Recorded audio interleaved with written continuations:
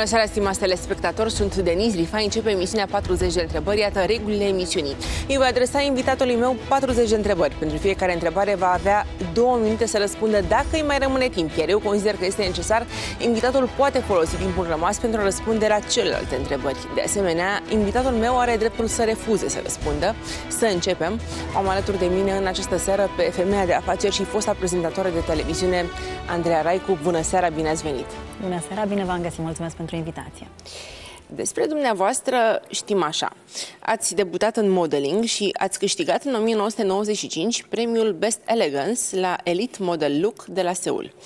Frumusețea este cea care va deschis porțile televiziunii, iar numele dumneavoastră va rămâne legat pentru totdeauna de două emisiuni importante, Big Brother și Megastar. Sunteți fashion icon și ați obținut mai multe titluri de cea mai sexy și cea mai elegantă vedetă feminină din România. Ați fost stilist, redactor de modă, iar astăzi aveți propriile colecții vestimentare. În copilărie vă doreați să fiți psiholog, v-ați căutat mulți ani liniștea și fericirea, iar în prezent țineți cursuri de mindfulness. În plan personal, sunteți necăsătorită și nu aveți copii. Vrem ca prin intermediul celor 40 de întrebări să o cunoaștem cu adevărat pe Andreea Raicu, femeia care s-a descoperit pe sine.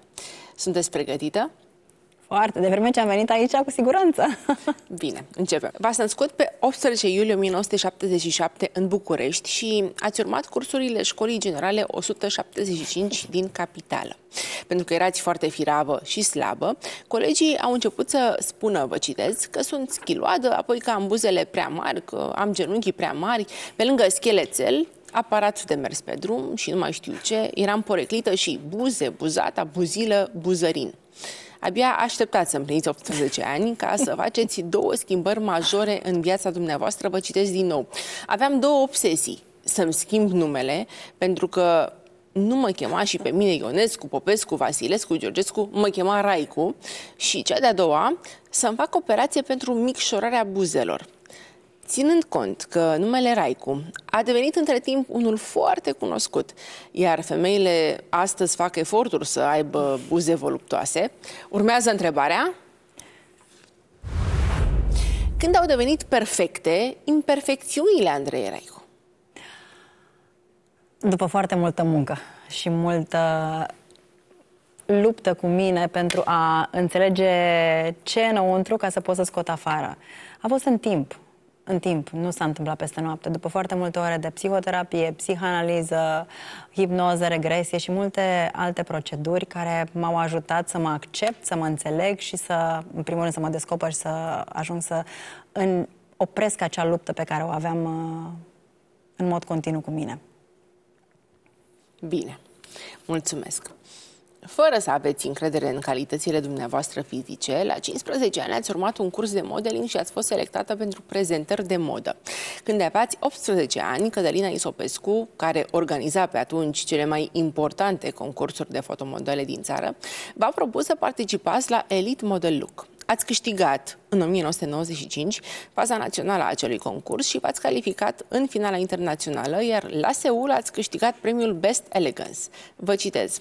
A fost amuzant că la festivitatea de premiere, prezentatorii coreeni mi-au strigat numele, numai că mie nu mi-a venit să cred că este vorba despre mine și am rămas nemișcată. L-au rostit încă o dată, iar colega mea de cameră, o italiancă, îmi tot făcea semn să merg să-mi ridic trofeul. Ați fost prima româncă premiată la un concurs internațional de frumusețe, iar la revenirea în țară vă așteptau deja mai multe contracte pentru prezentări de modă și ședințe foto la Milano. Vreau să știu dacă v-a pus lumea la picioare reușita de la Seul. Urmează întrebarea.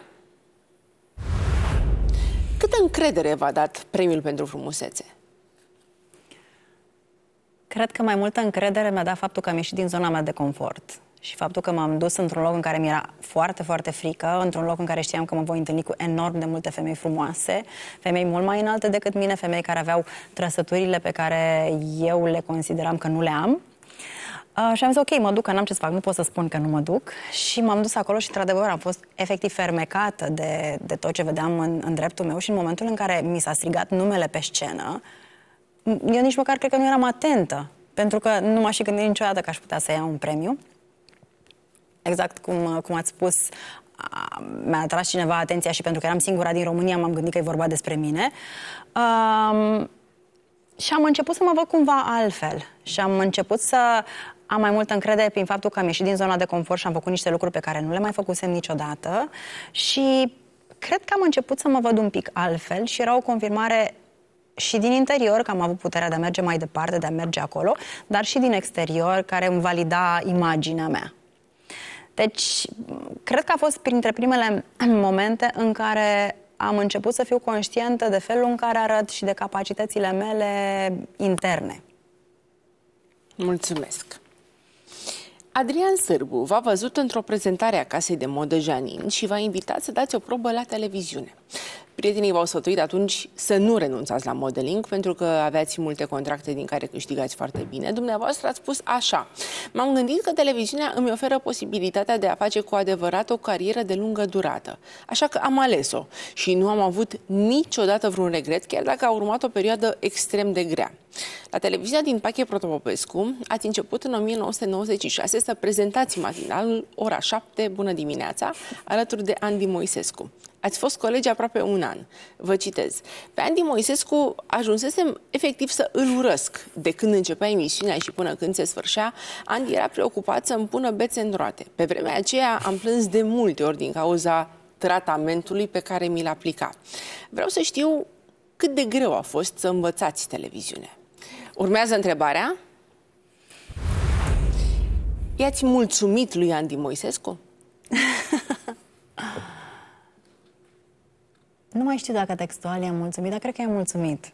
Pentru că acum suntem prieteni, avem o relație, am făcut multe proiecte împreună, după ce n-am mai lucrat uh, împreună în televiziune, dar, uh, de fapt, i-am mulțumit. I-am mulțumit atât lui cât și întregii echipe, pentru că, fiind, intrând în direct într-o emisiune care era cea mai grea a momentului de atunci, uh, eu, o fată care habar n-aveam nimic de ce însemna televiziune, singura pregătire pe care am făcut-o au fost niște două ore de dicție, pentru că vorbeam extrem de repede, pronunțam cuvintele greșit și în rest nu aveam nicio, niciun fel de pregătire. Și atunci am intrat în acea emisiune, doar cu cele două luni de dicție, în care trebuia să mă adaptez din mers la tot ceea ce se întâmpla.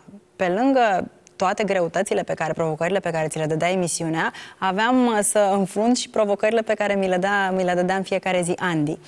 Um, am mulțumit pentru că acolo am învățat ce înseamnă televiziunea, acolo am învățat ce înseamnă prezență, atenție, rigoare, pregătire și a fost o bază extraordinar de bună pentru ce urma să fac.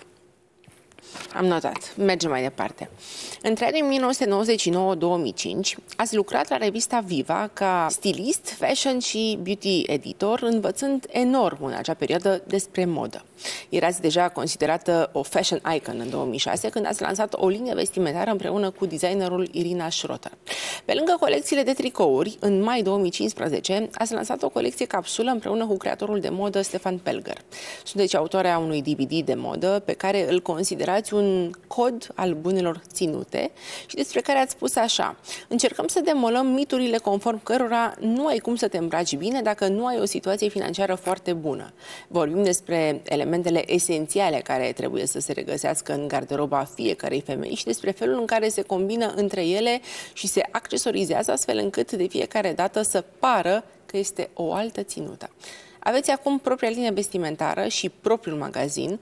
Vreau să știu ce vedete din România vedeți îmbrăcate în hainele create de dumneavoastră? Urmează întrebarea. Cui ar schimba Andreea Rai cu stilul vestimentar? Cui ar schimba stilul vestimentar? Andrei Marin. Cred că aș îmbrăca o mult mai simplu. Pentru că, evident, alegerile noastre vestimentare sau orice fel de alegeri pe care noi le facem în fiecare zi ne reprezintă, spun ceva despre noi. Um, cred că face ceva mult mai simplu din, uh, din alegerile pe care le face ea. Și alte vedete? Alte vedete? Nu m-am gândit la asta. Îmbrăcate în hainele dumneavoastră. îmbrăcate în hainele mele. M-aș bucura să văd multe vedete îmbrăcate în hainele mele, pentru că ceea ce văd în showroom atunci când clientele noastre vin și se îmbracă în hainele Amalin, uh, mă bucură extraordinar de tare, pentru că le văd cum dintr-o dată devin extrem de feminine, cum dintr-o dată devin extrem de frumoase și nu pentru că hainele sunt într-un anumit fel, ci felul în care le fac să se simtă. Pentru că noi am ajuns să, fim, să avem o energie masculină atât de puternică în noi, încât uităm de ce ne face cu adevărat frumoase și o haină foarte feminină, cu niște detalii care uh, te fac să te simți bine, de foarte multe ori produc o transformare foarte mare în uh, persoanele care poartă hainele noastre. Bine. Continuăm. Vă citez. Sunt un om norocos. M-am născut într-o familie minunată, am crescut înconjurată de oameni care m-au iubit și m-au învățat să iubesc și să trăiesc frumos am fost un copil dorit și așteptat. Mama dumneavoastră, Virginia Gheorghiu, v-a adus pe lume destul de târziu pentru acele vremuri, la 38 de ani, după mai multe tratamente. Ca stewardesă lipsea destul de mult de acasă, dar încerca să compenseze dăruindu-vă haine și dulciuri care nu se găseau în România comunistă. Ați spus așa, întotdeauna am considerat că am ceva special. Percepție susținută și de felul în care mă îmbrăcam, de lucrurile pe care le aveam, mama îmi aducea lucruri pe care ceilalți nu le aveau.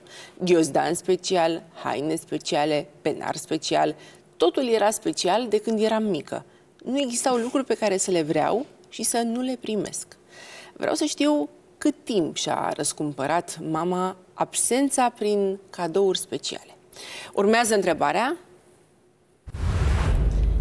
Când nu v-ați mai simțit specială? Cred că mi-am dorit să nu mă mai simt specială. Pentru că atunci când eram mică, mi se spunea că sunt specială și atunci toate alegerile pe care le făceam trebuiau să fie speciale. Pentru că dacă nu erau speciale, nu mă mai identificam cu ele și atunci nu mai eram nici eu specială. Și atunci mi-aduc aminte că într-un workshop pe care l-am făcut timp de vreo șapte zile în India, a avut legătură cu primii șapte ani din viața noastră, din viața mea, ne întorceam la toate condiționările și toate ideile și mm, toate lucrurile cu care ne identificam de când suntem mici. Și unul dintre lucrurile pe care vroiam să, la care vroiam să renunț era faptul că nu mai vreau să mă simt specială. Pentru că a fi special te face să-ți dorești întotdeauna ceva ieșit din comun. Și îmi doream pur și simplu să mă simt normală. Să mă simt normală, cu bucuroasă de alegerile mele făcute cu niște lucruri normale. Știi? Trebuia să, trebuia să am mașina care nu se mai găsea în România, trebuia să fumam la momentul respectiv, trebuia să fumez niște, țări, niște țigări care nu se găseau în România. Iubitul trebuia să aibă ceva special, pentru că dacă nu erau speciale, nu-mi confirmau mie identitatea pe care deja mi-o creasem. Și în momentul ăla mi-am dorit foarte tare să nu mă mai simt specială. Jobul pe care îl aveam era special, nu-l avea toată lumea, prezentator de televiziune, o persoană publică la momentul respectiv. Și mi-am dorit să nu mă mai simt specială ca să pot să fiu și eu cât se poate de normală în viața mea de zi cu zi. Și acum cum vă simțiți? Bine cu mine. Mulțumesc. După cum am spus, mama, fiind mai tot timpul plecată cu serviciul, bunica a fost cea care s-a ocupat îndeaproape de creșterea și de educația dumneavoastră, îndeplinindu-vă toate dorințele. Vă citez. Era croitoreasă și eu îmi alegeam din Neckerman modelele de rochii care îmi plăceau, iar bunii mi le făcea. Mă răsfăța cu tot felul de dulciuri, orice doream, de la bezele, care îmi plăceau foarte mult, până la cornulețe. Fiind atât de alintată, nu v-a plăcut deloc să mergeți la grădiniță, așa că apelați la diverse strategii copilărești pentru a rămâne acasă. Vă citez. Mi se părea foarte urât la grădiniță, așa că de fiecare dată plângeam până când mă îmbolnăveam ca să fiu luată acasă. Părinții v-au mutat pe la mai multe grădinițe, crezând că până la urmă vă veți acomoda la vreuna dintre ele, dar nu a fost deloc așa. Aș vrea să spuneți dacă ați folosit tactica de la grădiniță și adultă fiind. Urmează întrebarea. Cât de des v-ați folosit de lacrimi? Um, eram atât de atașată de bunica mea, încât în momentul în care mergeam la o altă grădiniță sau mergeam, plecam de acasă, simțeam că mă simțeam abandonată și plângeam până când vreau, până când mă luau. Mi-aduc aminte că am fost dată la balet și am plâns până n-am mai putut, nu m-au luat și până când nu m-am tăvălit pe jos, nu, uh, nu m-am oprit. La fel s-a întâmplat. Și plus că grădinițele la care nu mergeam, la care mergeam nu erau speciale. La un moment dat s-a găsit o grădiniță extrem de specială, cu un profil, uh, se învăța limba engleză, venea autob- autobuzul și mă să era o mașină specială și acolo ar fi putut să-mi placă, dar totuși mai mult îmi plăcea acasă. Deci acolo m-am tăvălit până când uh, până când m-am întors acasă, până când părinții mei au decis să rămân acasă. Um, bineînțeles că dinamica pe care eu am văzut-o în copilărie și care am, văz- am văzut că a funcționat, a rămas cu mine și la vârsta adultă. Și uh, atunci când lucrurile nu se întâmplau așa cum îmi doream, pentru că eu am fost învățată de mică să primesc ceea ce îmi doream, exact cum ați spus și în uh, descriere, aveam tot felul de metode și uh, eram ori plângeam, ori eram manipulatoare, până într-un moment dat, în terapie, când am înțeles ce fac cu mine și cu oamenii din jur și m-am oprit din a manipula oamenii. Deci am făcut-o destul de mult. Cred că am făcut-o până pe la vreo 27 de ani. Da, până pe la vreo 27 de ani. Era ușor, știi, pentru că primeai lucruri. Dacă te începeai să manipulezi, primeai și atunci păstrai dinamica pe care ai avut-o în copilărie. Bine, mulțumesc. Bunica dumneavoastră a trăit 97 de ani, iar ultimele decenii din viață vi le-a dedicat dumneavoastră. Și pentru că ea era foarte cochetă, v-a învățat și pe dumneavoastră lecția eleganței. Ați descris-o așa. Niciodată nu primea musafiri nearanjată. Mereu era asortată și nu-i lipseau bijuteriile, perlele sau broșele. Avea bluze și rochii din mătase, viu colorate și plovere din cașmir. De altfel, colecția de tricouri pe care ați lansat-o în 2008, i-ați dedicat-o bunicii, care în acel moment se afla în spital. Vă citez. Petrecerea de lansare a fost unul dintre puținele momente în care am părăsit spitalul, cu frica teribilă că ar putea să plece în timpul în care eu nu eram acolo, dar nu a făcut-o.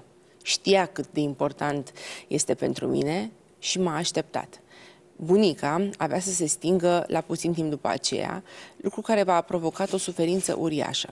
Spuneți deseori că vă este dor de blândețea sa, de fermitatea și de înțelepciunea cu care rezolva orice situație. Urmează întrebarea. Sunteți creația bunicii? Da, sunt creația bunicii pentru că ea m-a crescut. Și și în general când un copil este crescut de cineva, primește aceleași condiționări, aceleași, aceleași, aceleași lucruri. Ea a crescut, le-a crescut pe fetele ei, șase, nici mai știu câte erau la număr, după care m-a crescut pe mine. Deci eu am primit exact ce au primit mama și mătușile mele. Deci aș putea să spun că la, și ca la educație am primit aceeași educație pe care au primit-o și mama și mătușile mele. Uh, da, am luat foarte multe de la ea și sunt foarte recunoscătoare. Unele lucruri mi-au folosit până la un moment dat, altele mi-au folosit și în ziua de astăzi. Pe unele le-am păstrat, pe altele le-am dat înapoi, pentru că ea avea o, o forță fantastică și pentru că a crescut fără un partener lângă sau a avut parteneri care au făcut viața foarte grea.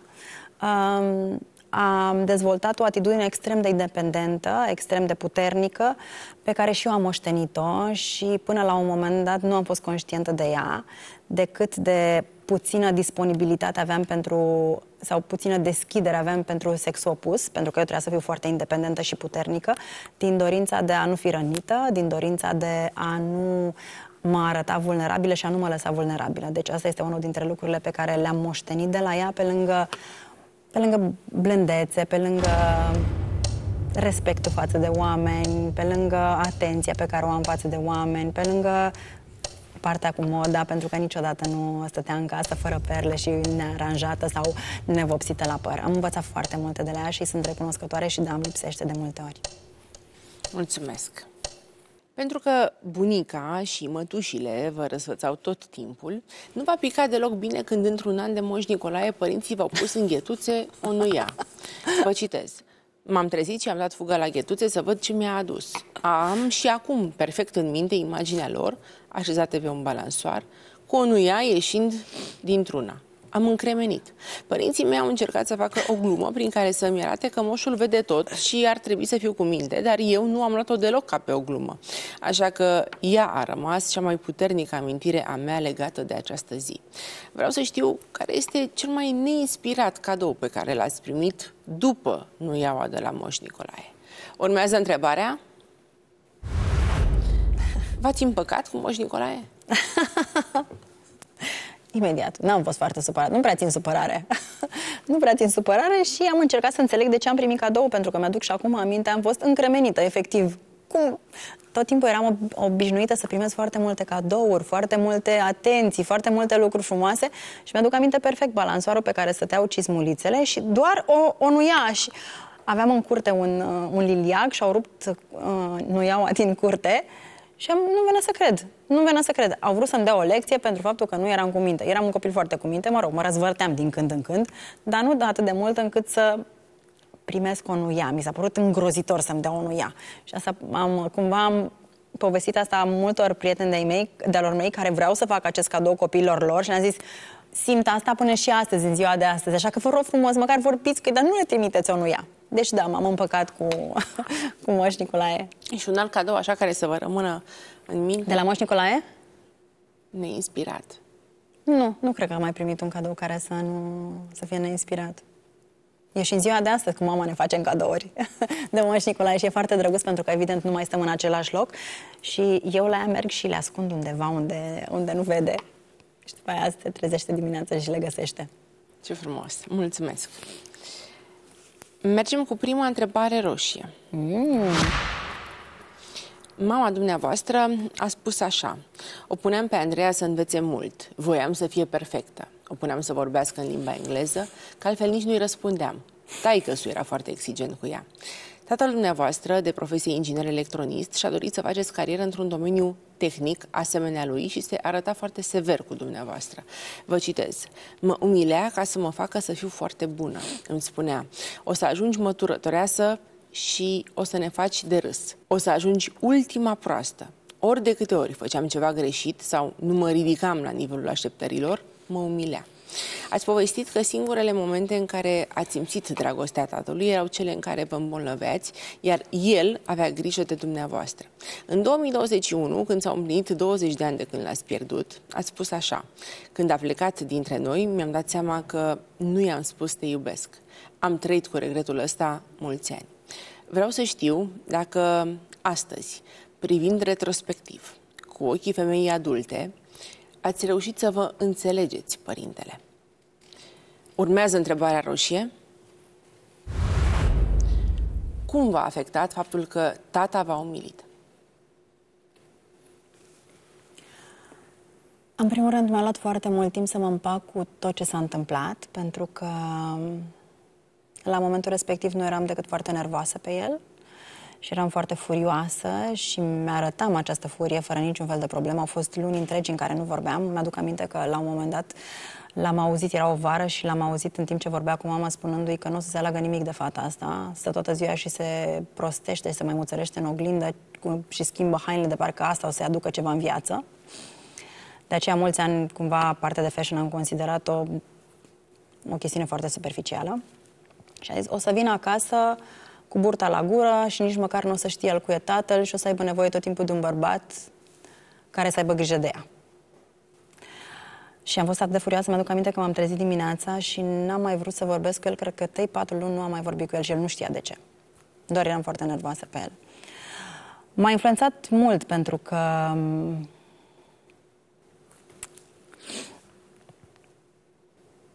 mă gândeam că dacă vreun bărbat are vreodată grijă de mine, tatăl meu avea dreptate. Um, de aceea, foarte mulți ani, de fapt toată viața, nu cred că am lăsat pe nimeni, niciun bărbat cu care aveam o relație să aibă grijă de mine, pentru că mă întorceam la ceea ce a spus tata. M-a marcat foarte tare acea propoziție, acea frază și mi-a rămas așa cumva tatuată pe minte, în minte și a trebuit să fac foarte multă terapie ca să pot să ies din această poziție a unei fetițe care trebuie să-i demonstreze tatălui ei că că este capabilă să facă lucruri și că nu va rămâne proastă și că... Vă dau timp. Ok, mulțumesc. Pentru că toate dinamicile mele în relație era, trebuia să fiu foarte deșteaptă ca să primesc dragostea. Dacă luam note bune, dacă aveam un comportament frumos, dacă eram lăudată de alții, atunci tatăl meu venea și mă iubea. Și această dinamică a mers și cu mine când eram mare, drept pentru care când un bărbat îmi oferea dragostea peste noapte, mi se părea ceva extraordinar de plictisitor. Eu trebuie să muncesc pentru dragostea asta, pentru că eu am, trebuie să fac lucruri și tot timpul veneam cu idei, veneam cu tot fel de lucruri ca să pot să merit dragostea respectivă. Mulțumesc. Vă citez. Ca mai toate fetițele, în copilărie eram iremediabil îndrăgostită de tata. Mi se părea frumos, inteligent, atot cunoscător. Doar că a trebuit să muncesc mult ca să-i demonstrez că merit să fiu apreciată, iubită, că sunt demnă de dragostea lui. Ați explicat că relația pe care ați avut-o cu tatăl dumneavoastră în copilărie v-a creat probleme la maturitate, în special în relațiile de cuplu, pentru că, fără să vreți, ați fost mereu în căutarea aceluiași tipar toxic și în potențialii dumneavoastră parteneri. Vă citesc din nou. Așa fac fetele care au probleme nerezolvate din copilărie. Își caută parteneri sau situații care să le fie familiare. Eu am căutat mereu să lupt pentru dragostea lor, așa cum făceam pentru a primi dragostea tatălui meu. Când o primeam mult prea ușor, apropo de ce mi-ați povestit, nu știam ce să fac cu ea. Mi se părea că nu e reală. Vreau să știu dacă astăzi vă considerați demnă de iubire. Urmează întrebarea. Ați întâlnit iubirea adevărată? Am învățat foarte greu să cred că merit. Mi-a luat foarte mult timp să învăț să merit. Pentru că în relațiile cu prietenii, cu bărbații, cu cele de muncă și în general în viața mea, nu eram pe deplin conștientă sau uneori absolut deloc convinsă că merit. Și întotdeauna trebuie să fac mult ca să obțin. Niciodată, chiar și în business, și acum am momente în care mi se pare că trebuie să muncesc foarte mult ca să obțin ceva, ca să merit. Um, și e, în momentul în care am înțeles că merit, lucrurile au început să vină către mine în mod diferit. N-am mai trebuit să alerg după ele, n-am mai trebuit să muncesc atât de mult, să mă zbat, să fac, să ajung să fac niște eforturi supraomenești. Și în momentul în care am obținut relațiile în care am simțit că merit dragostea, a fost extrem de liberator și extrem de... a venit cu foarte multă cu foarte multă bucurie și un sentiment de, când, știi, răsufli ușurat. Că ai primit ceva după care ai muncit foarte mult și acum îl primești fără să mai muncești atât de mult. Pentru că pur și simplu cineva te iubește sau cineva îți dă lucruri pentru felul în care ești tu, pentru cine ești tu, nu pentru toate eforturile pe care le fac. Pentru că asta s-a întâmplat și în relațiile atât de prietenie cât și de iubire. Ați întâlnit iubirea adevărată? Da. da, am întâlnit iubirea adevărată. Da. Mulțumesc. În 1999 ați început să colaborați cu revista Viva, iar din anul 2000 cu Prima TV, unde ați prezentat emisiunile Stil și Reuniunea de Clasă. În aceeași perioadă se lansa pe TV și Cronica Cărcotașilor și chiar dacă erați colegi, ați devenit ținta glumelor făcute de Huidu și Găinușă. Vă citesc. Preparaicu și Șpil au fost primele porecle pe care le-am primit când am ajuns în Prima TV, dar niciodată nu am putut să țin supărare. În 2003 ați început să prezentați Big Brother, o emisiune care și-a păstrat mult timp renumele de cel mai mare reality show din România. O altă emisiune importantă pe piața media autohtonă, dar și pentru cariera dumneavoastră, a fost Megastar, pe care ați prezentat-o în perioada 2006-2008. Urmează întrebarea. V-a transformat Big Brother în Megastar?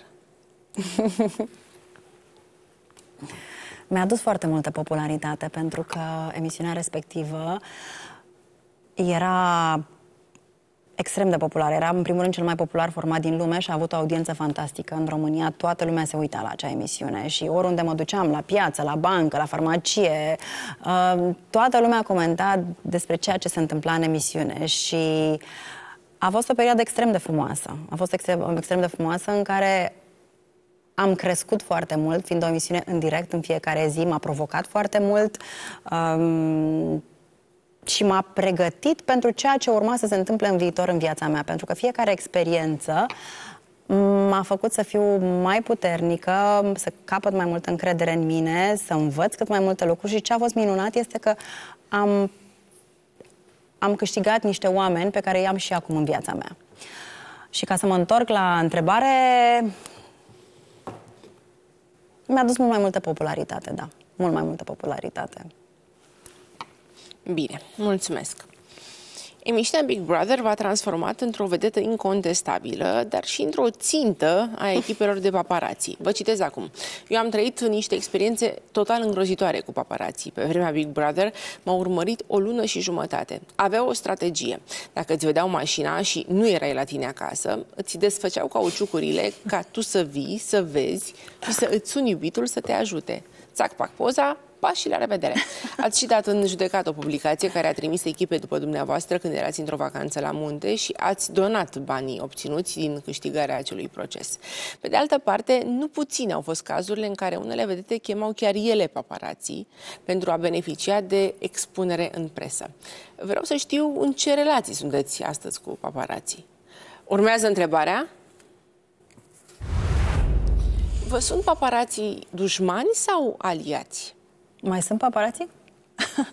nu știu dacă mai sunt, sau mă rog, eu nu le-am mai dat ocaz, nu le-am mai dat atenție, drept pentru care am învățat un lucru în India. Oricărui lucru îi dai atenție, crește. Și uh, eu n-am mai dat atenție acestui capitol din viața mea, drept pentru care, sincer, nu m-am mai preocupat, n-am mai citit, n-am mai văzut, nu m-am mai Înainte, recunosc, înainte eram absolut înfiorată, stăteam și mă uitam veșnic în spate. Mi-aduc aminte că îmi comandasem o mașină cu uh, geamurile fumurii și totul închis să nu mă, să nu mă vadă paparații și eram a, atât de înfricoșată de fotografiile pe care mi le-ar fi făcut dimineața, în care mi se vedeau cearcănile și era rai cu are niște cearcăni, cearcăne îngrozitoare. E, în momentul în care a apărut social media și eu m-am împăcat cu mine, lupta aceasta de a căuta vedetele cum arată atunci când se trezesc dimineața sau când sunt nemachiate, m-am hotărât să opresc. Și atunci m-am trezit într-o dimineață, mi-am uh, luat telefonul, am făcut o fotografie cu mine de-abia trezită și am zis, așa arată Raicu nemachiată. Și pentru mine aia a fost, um, s-a terminat, ce să mai cauți? Ce să mai cauți? Pentru că am văzut-o deja nemachiată, am văzut cum arată. Um, dar mulți ani m-au chinuit foarte tare și cei care sunt acum probabil de 20 sau să zicem 30 de ani nu au amintirea a ceea ce se întâmpla înainte. Nu exista social media, nu existau atât de multe publicații și paparații erau singura sursă prin care puteai să te duci la vedetă, să vezi cum arată, să vezi ce mai fac, în ce relații mai sunt, unde se mai duc, în ce locuri merg era singurul mod în care puteai să afli și atunci erau atât de mulți paparații încât oriunde te duceai, era cineva în spatele tău și a fost o perioadă extrem de, extrem de grea pentru că eram foarte atentă cu viața mea personală, lucru care se întâmplă și în ziua de astăzi, și eram foarte zgârcită. Nu făceam interviuri despre, parte, despre, viața mea, despre viața mea personală și cu cât ascundeam mai mult, cu atâta um, curiozitatea era și mai mare. Și da, m-au fotografiat în atât de multe feluri și în atât de multe moduri în, și probabil datorită relațiilor mele cu persoane care erau publice la momentul respectiv și atunci oamenii vreau să știe exact ce se întâmplă. Și eu mă ascundeam, ei veneau după mine, a fost așa un, un joc o foarte obositor, care m-a făcut de foarte multe ori să Care dar, astăzi? Care astăzi nu mai există. Cel puțin eu am ieșit din jocul ăsta, pentru că nu mă mai interesează. Mulțumesc! Ați mai prezentat emisiunile Totul pentru tine, Ce vor fetele sau Mereu prieten. De fiecare dată, silueta impecabilă vă permitea să purtați rochii strâmte și scurte și întotdeauna pantofi cu tocuri foarte înalte. Vă citesc. Cea mai mare frică a mea, cea mai mare obsesie în televiziune era să nu cad pe scări. Nu știm dacă ați căzut vreodată, fie și în culise, însă rochia scurtă a fost cea care v-a pus într-o situație delicată. În timpul emisiunii Ce vor fetele, Horia Brenciu v-a luat pe sus, dezvăluind, de fapt, ce vor bărbații, pentru că o țară întreagă v-a văzut posteriorul. Urmează întrebarea. Care a fost cea mai mare gafă a Andrei Raicu? Oh, Doamne, a fost în... Uh, nu știu dacă pot să spun asta la televizor, că era după 12 noaptea. Um, la Big Brother am avut uh, invitați paraziții Și mm, mi-au tot luat uh, clipboard cu toată documentarea și la un moment dat m-au întrebat de o expresie pe care eu nu auzisem niciodată. Nu cred că pot să spun acum că e înainte de 12. Și am zis, ce înseamnă asta? Și a fost un moment groaznic, pentru că ei au început să explice ce înseamnă asta. Și a fost foarte inconfortabil pentru că pur și simplu nu știam cum să ies din acea situație, pentru că eram destul de mică, era pe la început și știam că emisiunea în care vor fi ei invitați va fi cu foarte multe provocări, dar nu m-am gândit că mă vor pune într-o astfel de situație. Și asta când am pus întrebarea, nu mi-am imaginat nicio secundă că ar putea să fie ceva vulgar sau ceva nepotrivit. A fost cred că în emisiunea respectivă, cred că în 10 minute, cred că am slăbit 10, 5 kg pentru că mi s-a, am, efectiv îmi venea să intru în pământ pentru că am pus o astfel de întrebare, iar ei au, au, uh, au descris și au răspuns la întrebarea mea. În rest, nu știu, în 20 de ani probabil că... Dar nu cred, nu mi-aduc aminte să fi făcut foarte multe gafe. Nu, nu cred. Ba da, mi-aduc aminte, Doamne Dumnezeule, l-am avut invitat pe... Uh, Lipan Țăndărică și am zis, uh, domnule Țăndărică. Și mi s-a părut așa... Ovidiu Lipan Țăndărică și, nu știu, i-am, i-am pus o formulare, nu mai mi-aduc aminte, dar era ceva, era ceva nepotrivit. Dar nu mai mi-aduc aminte. N-am avut foarte multe momente din astea în care să gafez. Pentru că mă pregăteam foarte mult înainte și, având sindromul perfecționismului, eram obligată să fiu perfectă. Mulțumesc! Frumusețea care v-a adus atâtea titluri, dar și celebritatea care v-a propulsat pe prima pagina a ziarelor, v-au atras și atenția sexului opus. Ați devenit una dintre cele mai dorite femei din România, fiind curtată de oameni de afaceri, sportivi și vedete. Cu fotbalistul Cristi Chivu ați trăit o frumoasă poveste de dragoste din 2003 până în vara lui 2004. Presa a scris că v-ați despărțit din cauza distanței. Dumneavoastră erați aici, în București, în timp ce Cristi Chivu semnase cu echipa Ajax și locuia în Amsterdam despre trecutul dumneavoastră amoros, ați spus așa. O lungă perioadă de timp am intrat extrem de repede în relații. Mi se părea că totul e atât de minunat și mă aruncam toată. Vreau să știu ce ați schimba în relația noastră cu Cristi Chivu dacă ați putea să dați timpul înapoi. Urmează întrebarea. Vă mai pierdeți ușor capul în amor? Sunt mult mai atentă și mult mai prezentă. Pentru că, exact cum ați spus la început, intram foarte ușor în relații. Cum sunt copiii aceia mici, care nu sunt dezvoltați uh, emoțional și când vine cineva și le dă o bomboană, ei se bucură și deja spun, vai ce-mi place de tine. Păi mai vine altcineva și mai dă o bomboană și spune câteva lucruri frumoase, din nou petrec timp cu omul respectiv. Mi-a luat foarte mult timp să înțeleg că e o diferență foarte mare între atracție și compatibilitate. După ce am ascultat un podcast și am citit despre această diferență, am rămas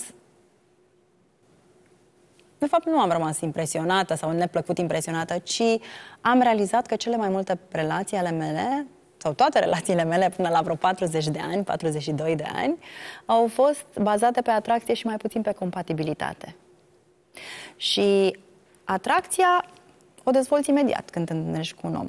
Deci ți-a dat o bombonică și te-a făcut să, să fii atrasă de omul respectiv. Compatibilitatea nu poți să stabilești imediat. Ai nevoie de timp. Ai nevoie de timp să îl cunoști pe omul respectiv, să stai de vorbă cu el, să vezi dacă lucrurile pe care le spune le și face, um, vezi dacă ai aceleași valori, dacă îți plac aceleași lucruri, dacă îți dorești să mergi în aceeași direcție. Și lucrurile acestea nu poți să le, înveți, să le descoperi decât în timp. Dacă ești atras și te duci înainte din această zonă a atracției și devii intim uh, cu persoana respectivă, toată lumea știe că din cauza chimicalelor care uh, apar, care funcționează ca niște antidepresive sau uh, anxiolitice, nu mai vezi realitatea. Și te duci cu totul cu, înainte și... Vă nu, dau timp. Și nu mai vezi lucrurile care nu-ți plac, lucrurile care te deranjează. Ce ați relația cu Cristi Hivu dacă ați putea da timpul înapoi? Nu aș schimba nimic, pentru că m-a făcut să înțeleg. Noi ne-am despărțit pentru că um, eu nu eram matură emoțional. Mulțumesc. Ați fost toată viața pasionată de sport. În copilărie ați făcut balet, gimnastică, handbal și atletism. Cu tenisul aveți însă o relație cu totul specială. Ați luat contact cu sportul alb la 16 ani, când ați fost hostesă la concursurile de tenis desfășurate la București. Mai târziu, presa a scris că ați fost foarte apropiată de jucătorul de tenis Răzvan Sabău. Cu Horia Tecău ați trăit o adevărată poveste de iubire. V-ați mutat împreună după două luni, însă cu puțin timp înainte de a sărbători un an de relație, v-ați despărțit. Presa a susținut atunci că motivul ar fi fost numeroasele plecări în turnee ale sportivului. Urmează întrebarea. Ați mai da astăzi vreo șansă unei relații la distanță? E o întrebare foarte grea.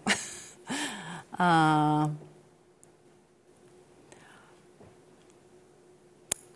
Tentația este să spun nu. Și de fiecare dată când vorbesc cu prietenele mele, prietenele mele îmi spun, tu nu poți să ai o relație cu cineva din România, trebuie să ai o relație cu cineva din străinătate. Mentalitatea unui bărbat din străinătate este mult mai potrivită cu mentalitatea ta. Ok, dar eu nu vreau să mă mut din România. Bine, dar poți să ai așa, la distanță. Da, dar relațiile la distanță nu funcționează, cel puțin în cazul meu. E așa un paradox. Uh, cred că dacă distanța ar fi mult mai mică dar distanța întotdeauna a fost foarte mare de fiecare dată um, și cred că asta a fost și un punct în relația uh, de care vorbeai ceva mai devreme. Dar e greu să menții o relație la distanță, mai ales la început. Eu am avut multe relații la distanță și uh, ar fi un, destul de dificil acum când am dezvoltat un business care are nevoie de mine foarte mult, e totuși la început și mi-ar fi foarte greu să mă rup, ar trebui să fac o alegere. Tot timpul am făcut alegerea businessului. Acum nu știu ce alegere aș face. nu știu, pentru că lucrurile îmi iubesc foarte mult businessul și mă reprezintă și mi-aduce foarte multă bucurie, dar uh, nu știu, viața este foarte surprinzătoare. Deci nu știu. Bine, am notat. Ați avut timp de 5 ani o relație cu Tudor Chirilă, descrisă de jurnaliști ca fiind tumultoasă. În 2007, presa descria, citând martor oculari, un episod extrem de controversat petrecut în public. Citez într-un articol. Tudor era foarte nervos, iar Andreea părea supărată. El țipa la ea să deschidă geamul sau să coboare din mașină să vorbească. Prezentatoarea dădea din cap că nu și ridica neputincioasă din numeri. Între timp, traficul s-a blocat și toți șoferii claxonau isterizați implicați. Tudor Chirilă a răspuns presei printr-o scrisoare ironică din care citez Doresc să cer iertare cititorilor agresați de acest conflict cu ize telenovelă și în același timp ziariștilor care au fost obligați să își mute atenția de la alte subiecte pentru a reflecta în mod obiectiv și fără exagerare un blocaj în trafic și un act de agresiune. Doresc totodată să cer iertare cetățenilor pentru că eu și iubita mea am trecut printr-un moment dificil care a degenerat într-un asemenea conflict. Aș vrea să-mi spuneți dacă ați fost vreodată agresată. Urmează întrebarea. Cât de mult v-a plăcut Vama Veche? Aveți o, o documentare grozavă, pentru că nu mai, nu mai știam de, de această scrisoare pe care Pesca ar fi scris-o. Um...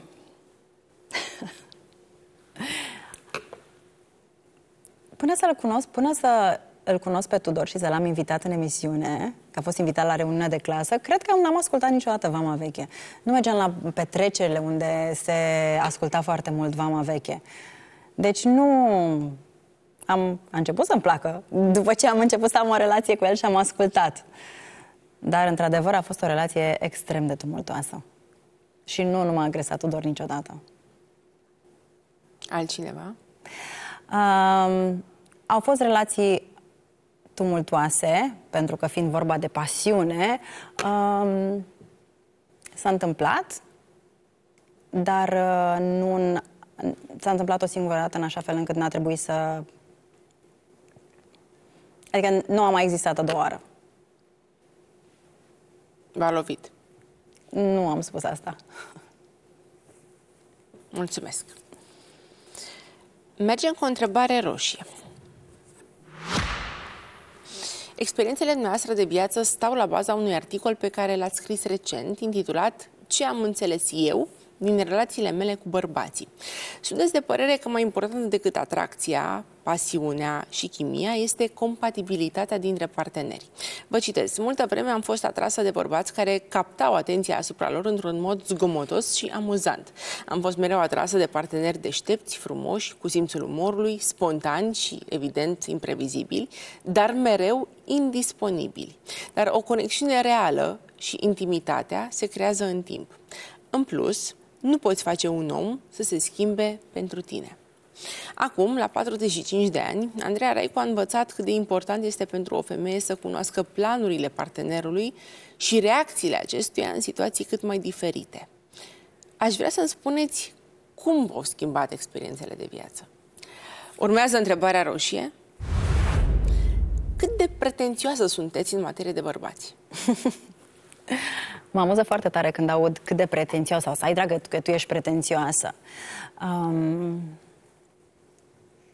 știu exact cine sunt,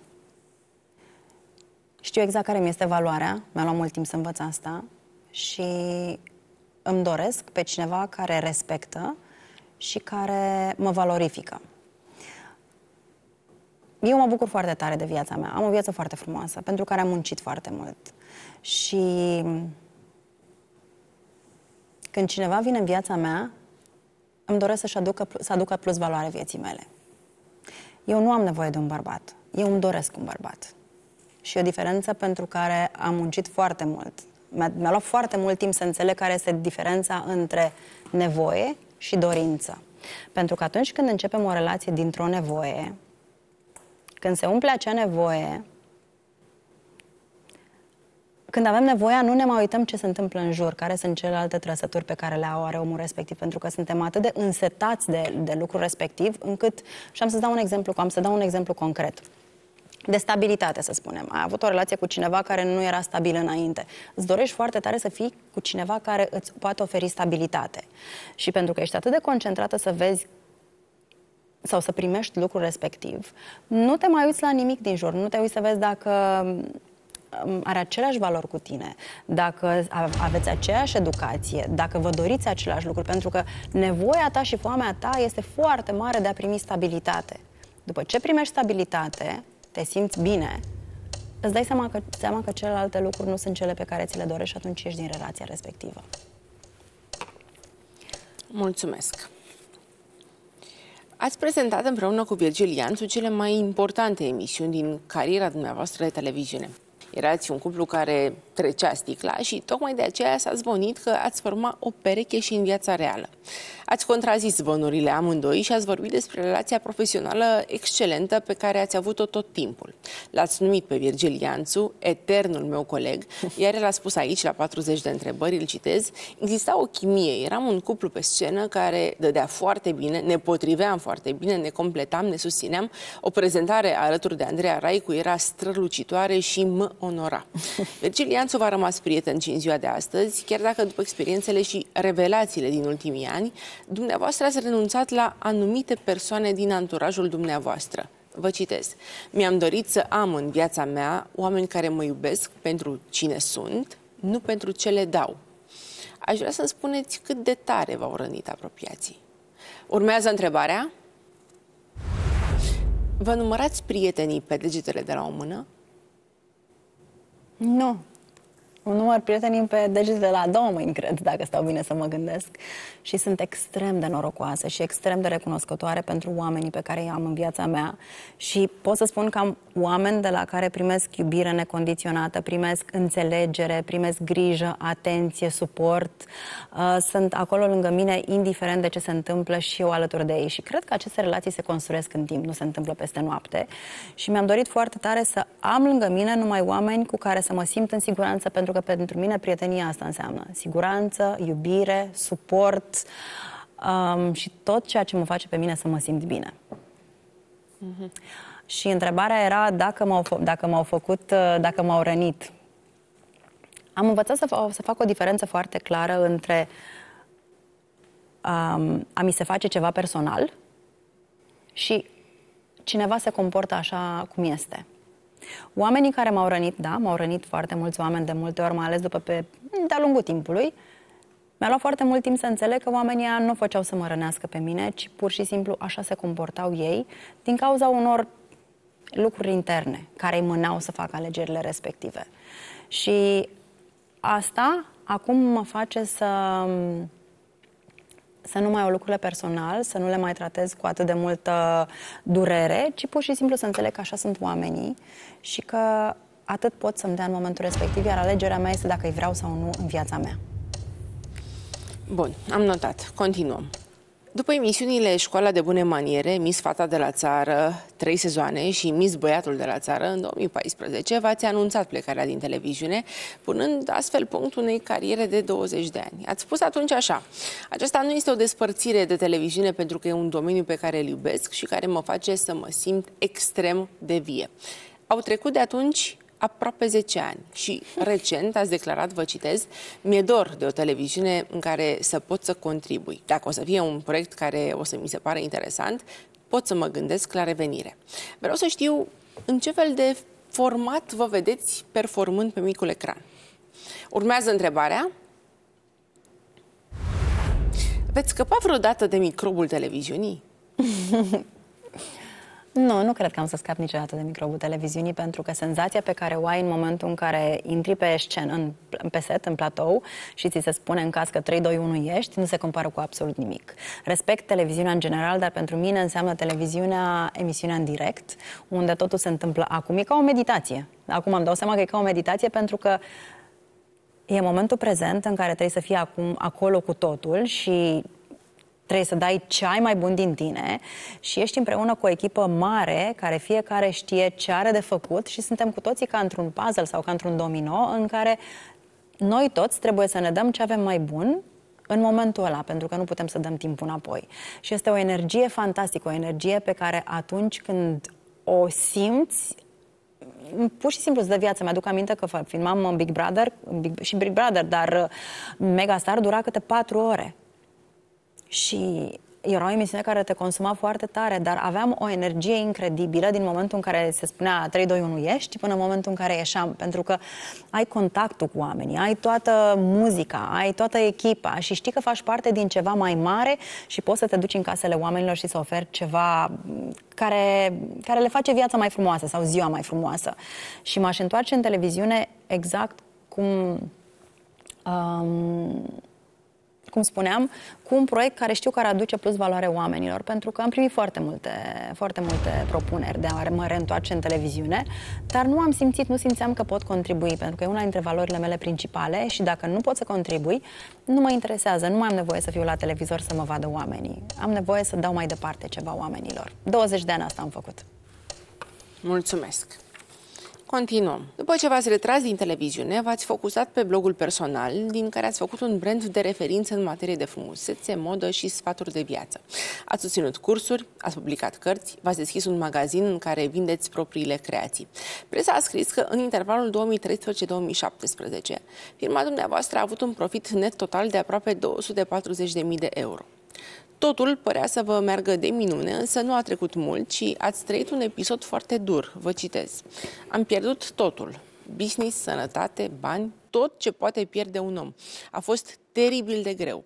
Au fost momente în care m-am simțit ca un tren lovit de zid cu toată viteza. Am ales să mă despart de un business care, deși purta numele meu și era construit în jurul a ceea ce reprezenta brandul Andreea Raicu, nu mai avea legătură cu mine, nu mai rezonam cu felul în care era condus și mai ales cu parteneriatul în care eram. Vreau să știu de câte ori ați luat-o de la capăt. Urmează întrebarea. Ce business va aduce acum cei mai mulți bani? Eu. Mintea mea. Um, am luat-o de la capăt de mai multe ori în viața mea și e un lucru pentru care sunt foarte recunoscătoare. Deci la început mi era atât de frică pentru că aveam senzația că eu nu știu, eu nu pot, uh, eu nu știu să fac decât televiziune și pot să fac televiziune pentru că am o echipă în spate și e ca un noroc. Sindromul impostorului meu era la niște cote foarte înalte. Și m-am gândit că eu nu o să pot să fac nimic pentru că eu nu știu să fac altceva decât televiziune. Doar că viața mi-a adus niște experiențe care m-au făcut să înțeleg că pot să fac ce vreau eu că am o putere fantastică și unul dintre lucrurile care, care mi-apare de fiecare dată când am momente grele este că au fost momente grele? Da. Am trecut peste ele? Da. Tot ce mă apare în viață sunt convinsă că voi găsi soluția și puterea să iau de la capăt. Asta de foarte multe ori am vorbit și am vorbit în conferințele mele și în ultimul TEDx pe care l-am avut despre diferența între imaginea de sine și stima de sine. Cei mai mulți oameni, pentru că nu-și construiesc stima de sine, se bazează pe imaginea de sine. Și întreb, știți care este diferența între imaginea de sine și stima de sine?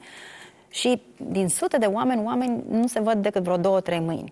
Imaginea de sine este ceea ce se vede în exterior, ceea ce arătăm noi oamenilor. Ce se vede în social media, felul în care ne prezentăm noi oamenilor, este percepția pe care oamenii au despre noi.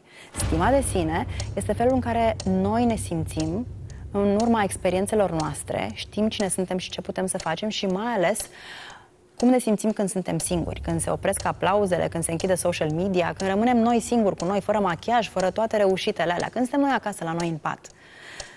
Stima de sine este cea pe care trebuie să, să o dezvoltăm dacă vrem să o luăm de la capăt sau dacă vrem să facem schimbări, dacă vrem să avem curajul pentru a schimba ceva în viața noastră atunci când nu ne place. Mulțumesc!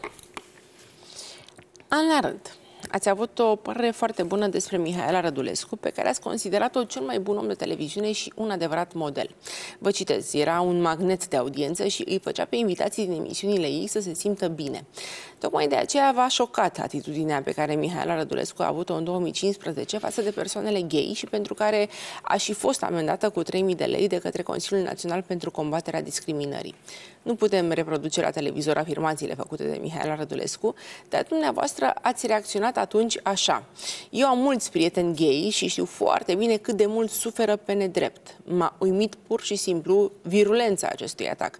Eu cred că persoanele publice trebuie să fie foarte atente la ceea ce spun, pentru că sunt un reper pentru ceilalți. Niciodată nu mi-aș fi imaginat că Mihaela Rădulescu este capabilă să arunce niște replici atât de îmbibate de furie. Vreau să știu cât de dezamăgită ați fost de derapajele unui om de televiziune cu atâta experiență. Urmează întrebarea. Mai este Mihaela Rădulescu un model pentru dumneavoastră? Am fost extrem de surprinsă, de fapt. Nu știu dacă dezamăgită e cuvântul în... Uh... Am fost surprinsă pentru că o știam cât de deschisă este, o știam uh, că a lucrat, um, că avea în jurul ei oameni gay um, și m-a surprins, chiar nu mă așteptam. Um, iar în ceea ce privește pe Mihaela, întotdeauna am considerat că este un om de televiziune foarte bun. Faptul că a făcut declarația asta nu îi anulează capacitatea ei și competența și felul în care se...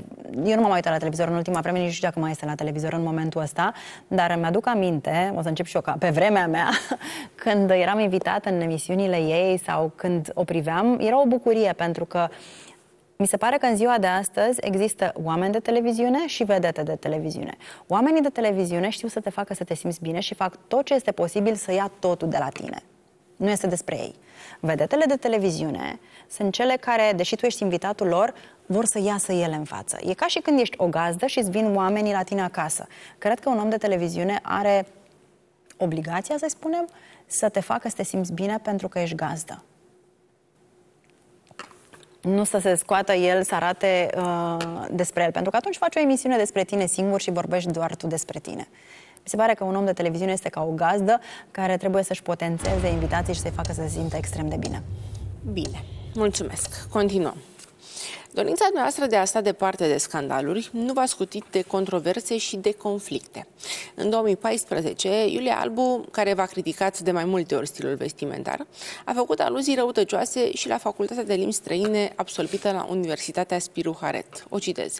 Andreea Raicu, jurnalistă, actrița, creatoza și fashion icon la ea acasă, părăsește micul ecran ca să vezi ce face o diplomă la privat și bunăvoința unui numit Adrian Sârbu.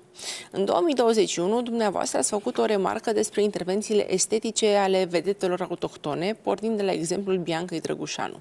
Vă citez. Nu sunt reale, adică nu mai par niște persoane, par roboți, niște statui.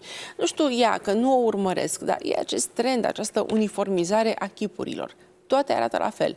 Și știți ce este foarte trist? Că privirea este goală. Bianca Drăgușanu nu v-a rămas datoare și a replicat astfel. Invidia ta îmi dă valoare.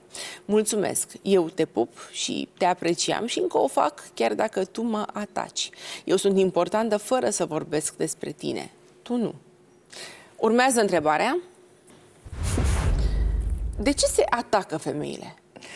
Nu știu, mă gândesc că ar trebui ele întrebate. Nici nu știam de, de cele două reacții, pentru că, așa cum am spus, nu sunt atât de prezentă în să citesc presa, dar despre mm, niciuna dintre ele nu am făcut niciun comentariu. Cred că în momentul în care am fost întrebată, dacă, atunci când am vorbit despre femeile care uh, recurg la atât de multe intervenții, în așa fel încât ajung să nu mai aibă niciun fel de expresie, și am pornit de la faptul că noi ne conectăm prin felul în care ne raportăm unii la alții. În momentul în care eu vorbesc cu cineva și persoana respectivă îmi povestește de un eveniment foarte trist din, din viața persoanei respective și eu nu mișc absolut deloc fața, citisem un articol despre, despre această situație, nu se mai creează conexiunea. Eu nu mai mi-arăt empatie absolut deloc față de omul respectiv care se simte nevăzut, neprivit, neluat în seamă și neimportant.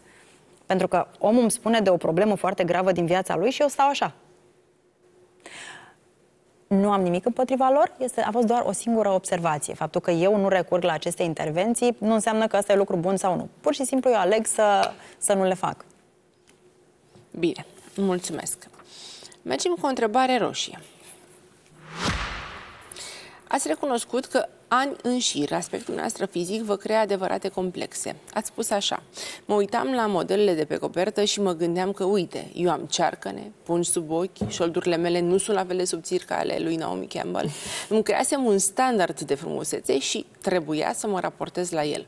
Erați atât de obsedată de imaginea dumneavoastră, încât citesc din presă, Andreea Raicu a mărturisit că nu putea accepta ca imagini neretușate cu ea să apară într-o revistă. Uneori fotografiile erau atât de modificate modificate încât ajungeați de nerecunoscut, devenind subiect de glume și ironii. Iată reacția unui cititor la apariția unei reviste care va avea pe copertă. Cine e în poză? După ce e scris pe copertă, se dorește a fi Andreea Raicu. Vreau să știu câtă suferință v-a provocat această nevoie de perfecțiune. Urmează întrebarea roșie. Cât timp ați fost sclava Photoshopului? Mult. Foarte mult, foarte mulți ani. Îmi corectam, stăteam cu un coleg de la Viva și îmi corectam fotografiile când aveam ședințe foto, le corecta, le scoteam la imprimantă și pe timp ce corecta fotografiile, mă uitam la cele scoase de la imprimantă și le mai corectam un pic. Parcă aici sunt un pic cam grasă, parcă aici aș vrea să mă subțiezi un pic, parcă să faci sânii mai, nu știu cum mai. Până când ajungeam să nu mai fiu eu și am văzut la un moment dat o fotografie, chiar ieri am fost la mama acasă și am văzut-o, era o fotografie cu mine care la momentul respectiv îmi plăcea, mi se părea cea mai frumoasă fotografie cu mine. Și m-am uitat înfiorată, nu venea să cred cum îmi plăcea acel tip de, de retuș. Pe de altă parte, sunt extrem de fericită că nu am trăit acum frica pe care o aveam atunci de a fi văzut așa cum sunt, pentru că, în mod sigur, am și făcut uh, schimbările cu uh, bisturiul și cu tot felul de alte metode extrem de invazive. Atunci nu era decât uh, Photoshop-ul la care aveau acces foarte puțini oameni, nu existau uh, aplicațiile pentru editarea fotografiilor și la aceste, la aceste fotografii și la Photoshop nu aveau acces decât celebritățile care apăreau pe copertă. Deci, cumva, mă bucur foarte tare că am trăit în momentul ăla și nu acum cu problemele pe care le avem, cu dorința de perfecțiune pe care o aveam atunci. Dorința de perfecțiune a fost ca o platoșă care mă făcea să nu să mă sufoc, să nu ies din locul ăla safe pe care eu îl știam, pentru că dacă aș fi ieșit de acolo și aș fi făcut vreo greșeală, ar fi văzut-o altcineva și s-ar fi uitat la mine, aș fi, m-ar fi arătat cu degetul și m-ar fi făcut să mă simt um, imperfectă, cu multe greșeli, nepotrivită, neadaptată, incapabilă să mă integrez și incapabilă să fiu iubită, ceea ce îmi doream din tot sufletul să fiu iubită și văzută. Mulțumesc! S-a scris mult despre cearcănele dumneavoastră, iar paparații v-au urmărit ca să surprindă instantanee cu dumneavoastră nemancheată, astfel încât să poată face comparație între imaginea noastră de la televizor și cea din viața de zi cu zi. Nu ați rămas indiferentă la aceste articole, ale căror titluri erau formulate așa. Imaginile astea chiar te vor șoca. Ai mai văzut-o nemachiată, dar acum arată în ultimul hal. Despre insistențele și răutatea presei ați spus așa. Fiecare titlu, fiecare etichetă, fiecare jignire, fiecare minciună, fiecare poveste, fiecare invenție mă făceau să sufăr. Ani de zile am fugit de paparații care îmbânau fiecare trăsătură pe care eu o consideram imperfecțiune. Eram îngrozită la gândul că cineva îmi poate vedea cearcănele, ochii umflați sau pielea care nu arată ca în reviste. Mă dureau foarte tare pentru că nu înțelegeam cum poate cineva să facă asta cuiva. Vreau să știu care este astăzi punctul dumneavoastră cel mai sensibil. Urmează întrebarea. Vă mai doare ce scrie presa? Absolut deloc. Absolut deloc, pentru că îmi dau seama că nu este despre mine și, doi, m-am împăcat cu toate aspectele din viața mea. Și când scrie că nu sunt măritată, vai de mine, am ajuns la 45 de ani și nu sunt măritată, și când faptul că n-am un copil, pentru că astea erau punctele cele mai sensibile. Uh, faptul că nu eram măritată și faptul că nu aveam un copil. Era ceva... Pentru că pentru mine era o problemă. Dar în momentul în care accepti toate lucrurile respective din viața ta, nu mai e nicio problemă să, să le auzi de la ceilalți. Mă amuză când oamenii își dedică atât de mult timp pentru, că, pentru niște lucruri care nu sunt importante pentru ei. Și uh, întorcându-mă la ce la întrebare dacă mai există vreun punct, punct sensibil, nu de care să fiu conștientă în momentul ăsta. Pentru că la cât m-am întâlnit cu toți demonii în terapie și la cât uh, am uh, scos toate emoțiile și cât am urlat în workshop-uri și câte lucruri am făcut și am scormonit, uh, cred că am ajuns să accept toate părțile din mine, chiar și alea care nu-mi plăceau și am învățat să trăiesc cu ele. Pentru că mi-am dat seama că altfel aș fi într-o luptă continuă pe care nu am cum să o câștig niciodată.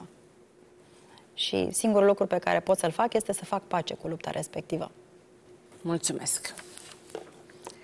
Vă mențineți în formă prin sport și mergeți la sală ori de câte ori vă permite timpul. Presa a remarcat că sunteți tot timpul bronzată, iar dumneavoastră ați spus că nu mai mergeți la solar și că apelați la produse pentru bronz artificial care nu vă afectează sănătatea. În ceea ce privește operațiile estetice, jurnaliștii au scris că ați avea trei intervenții, toate în zona bustului, dar dumneavoastră ați spus așa. Pot să am sau nu silicoane. Acest lucru ține de intimitatea mea, nu îmi voi face publică viața particulară. Vreau să știu dacă există o limită peste care presa nu ar trebui să treacă. Urmează întrebarea. Câte secrete puteți ține departe de ochii lumii? Nu știu dacă sunt secrete. Cred că pur și simplu sunt lucruri pe care aleg să nu le împărtășesc cu oamenii. Nu cred că există un număr. um, am fost acum de curând la o conferință, la mai multe conferințe și am plecat cu un anumit tip de speech, dar urcându-mă pe scenă mi-am dat seama că femeile din public au nevoie să audă altceva decât vreau eu să le spun și m-am vulnerabilizat foarte tare. Și am spus niște lucruri pe care în mod normal oamenii nu s-ar gândi că le povestesc pentru că sunt uh, din intimitatea mea și m-am vulnerabilizat foarte mult pentru că mi-am dat seama că poveștile și trăirile și experiențele mele pot ajuta și inspira foarte multe femei să, să se descopere și să facă niște schimbări în viața lor. Pentru că am observat că atunci când rezonezi cu o persoană pe care o admiri sau la, pe care o urmărești și vezi că trece prin niște momente grele și îți povestește care sunt resursele și instrumentele care au ajutat-o să iasă din momentele respective, cumva, în primul rând îți dai seama că nu e ceva în regulă cu tine, și mai sunt și alți oameni care trec prin aceleași momente ca și tine și există o șansă să ieși de acolo. Um, dar vulnerabilitatea, cred că eu cred că trebuie să existe până la un anumit punct, pentru că sunt lucruri pe care le, le discuți cu prietenii tăi, Dați cu apropiații. un exemplu. Uh, un exemplu de lucruri pe care le-am vorbit în, uh, la conferință? De așa, această linie fină despre care ați vorbit, că sunt lucruri pe care le pot spune și lucruri pe care nu le pot spune, o să vă dau timp. Până unde puteți merge cu declarațiile? până când simt că lucrurile pe care le află oamenii, dacă le află, nu fac rău. Nu sunt întoarse împotriva mea. De exemplu, când am făcut primul TEDx, um, am vorbit despre depresie. Am spus că, deși toată lumea mă vedea extrem de fericită, frumoasă, successful, eu eram extrem de nefericită și eram uh, într-o depresie groaznică. Și oamenii din jurul meu mi-au zis, băi, ești sigură că vrei să spui asta? Că poate să ți întâmple ceva, poate să vină împotriva ta. Și am zis, da, sunt sigură că vreau să spun asta, pentru că sunt sigură că sunt foarte mulți oameni în situația mea și au nevoie să audă asta. Și rezultatul a fost spectaculos. Bine, mulțumesc. Mergem cu o întrebare roșie. Vă citez. M-am născut frumoasă, sănătoasă, celebră, cu bani, aveam tot ce își dorea o fată ca să fie fericită, doar că eu nu eram. Și nu puteam să spun asta pentru că nimeni nu mă credea că sunt nefericită. Când venea cineva și îmi spunea, vai, dacă de frumoasă ești, ești superbă, îmi venea să-i dau cu ceva în cap. Sufereați de depresie, dar păstrați aparențele, pentru că erați sigură că oamenii nu aveau cum să vă înțeleagă. Vă citesc din nou. Viața devenise un calvar. Am avut foarte multe dimineți în care nu voiam să mă dau jos din pat și în care chiar nu m-am dat jos din pat. Inventam tot felul de scuze că sunt foarte ocupată pentru că pur și simplu nu mai voiam nimic. Aș vrea să-mi spuneți cât va costa depresia. Urmează întrebarea roșie. De ce a căzut în depresie o femeie care avea totul? Avea totul din exterior.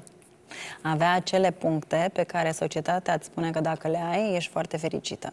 Ai o relație ai o relație cu cineva care pare din exterior absolut minunat, ești faimoasă, ai bani, uh, poți să pleci în vacanțele pe care ți le dorești, ai prieteni, uh, ai o casă frumoasă, conduci o mașină la care visează mulți oameni. Deci unde este problema? Problema este că atâta vreme cât din interior este un gol, golul ăla nu poate fi umplut cu toate elementele pe care le-am uh, enumerat aici. În momentul în care tu nu te împaci cu tine și trăiești o altă viață decât cea pe care ți-o dorești. Și care era acel gol? Um, golul era că, în primul rând, nu aveam stimă de sine, absolut deloc. Și atunci făceam alegeri care nu făceau bine. Uh, un alt lucru pe care îl făceam, făceam tot felul de lucruri ca să nu-i pierd pe ceilalți, să nu-mi pierd joburi, dar m-au făcut să mă pierd pe mine. Um, Făceam de multe, lucruri, multe ori lucruri pe care nu aveam chef să le fac, mințindu-mă că îmi place să le fac. Pentru că mă mințeam foarte mult. De aceea mi-aduc aminte că am fost într-o emisiune în care, de fapt nu într-o emisiune, tot într-un workshop, um, și am spus că pe mine mă deranjează minciuna foarte tare. Ne-au spus că dacă te deranjează ceva în exterior, înseamnă că ai în tine. Și am zis, pe mine mă deranjează minciuna și nedreptatea. Dar eu nu mint și nu nedreptățesc pe nimeni. Ești sigură? N-am niciun dubiu. Dar ești sigură că nu nedreptățești și nu minți pe nimeni? Da, bineînțeles că da. Nici o persoană, nu. Dar pe tine? Și atunci mi-am dat seama că mă mințeam și mă nedreptățeam foarte tare și în momentul în care am rezolvat acele lucruri, minciuna și nedreptatea din exterior nu m-a mai interesat. Sau, mă rog, nu m-a mai deranjat atât de tare încât să am acele stări absolut îngrozitoare. Mulțumesc! Pe 10 decembrie 2009 a trăit unul dintre cele mai grave episoade de depresie. Vă citesc, am ajuns acasă și casa era goală. M-am simțit singură și nefericită, am plâns până când am adormit. Mi-am adus aminte de Michael Jackson, care a murit singur. Nu mă pot compara cu el, dar în țara noastră aveam tot ce își dorea o fată ca să fie fericită, dar eu nu eram. Cel mai trist lucru era faptul că eram convinsă că o să sfârșesc ca Marilyn Monroe. Trei ani mai târziu, în 2012, depresia dumneavoastră a atins punctul critic. Ați povestit așa. M-am gândit la lucruri foarte negre. Pur și simplu, mi se părea foarte greu să merg mai departe. Eram atât de obosită de tot ce mi se întâmpla, nu mai puteam. Nu mai aveam energie. Urmează întrebarea. Care a fost cel mai mare pericol la care v-a expus depresia?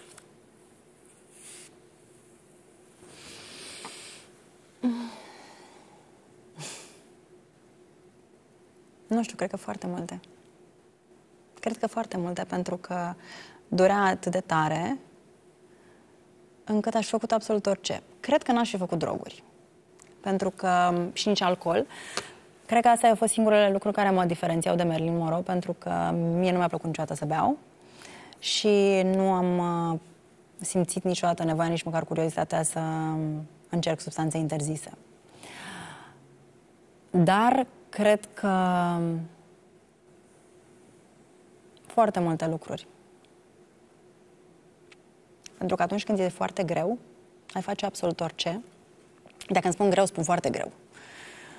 Um, ai face absolut orice să nu mai simți durerea aia.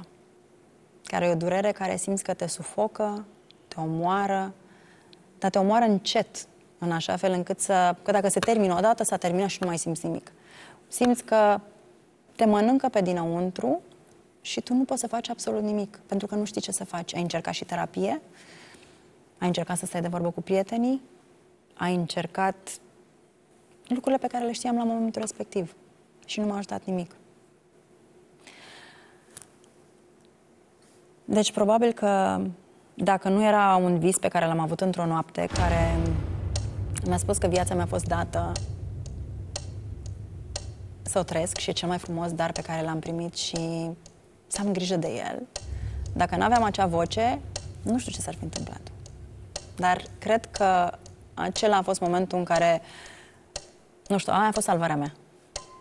Pentru că am ales să ascult acea voce și să mă deschid către lucruri și să ajung unde sunt astăzi aici. Mulțumesc. Mergem cu o întrebare roșie. Vă citez. Aveam două măști. Machiajul și tocurile fără de care nu ieșeam din casă.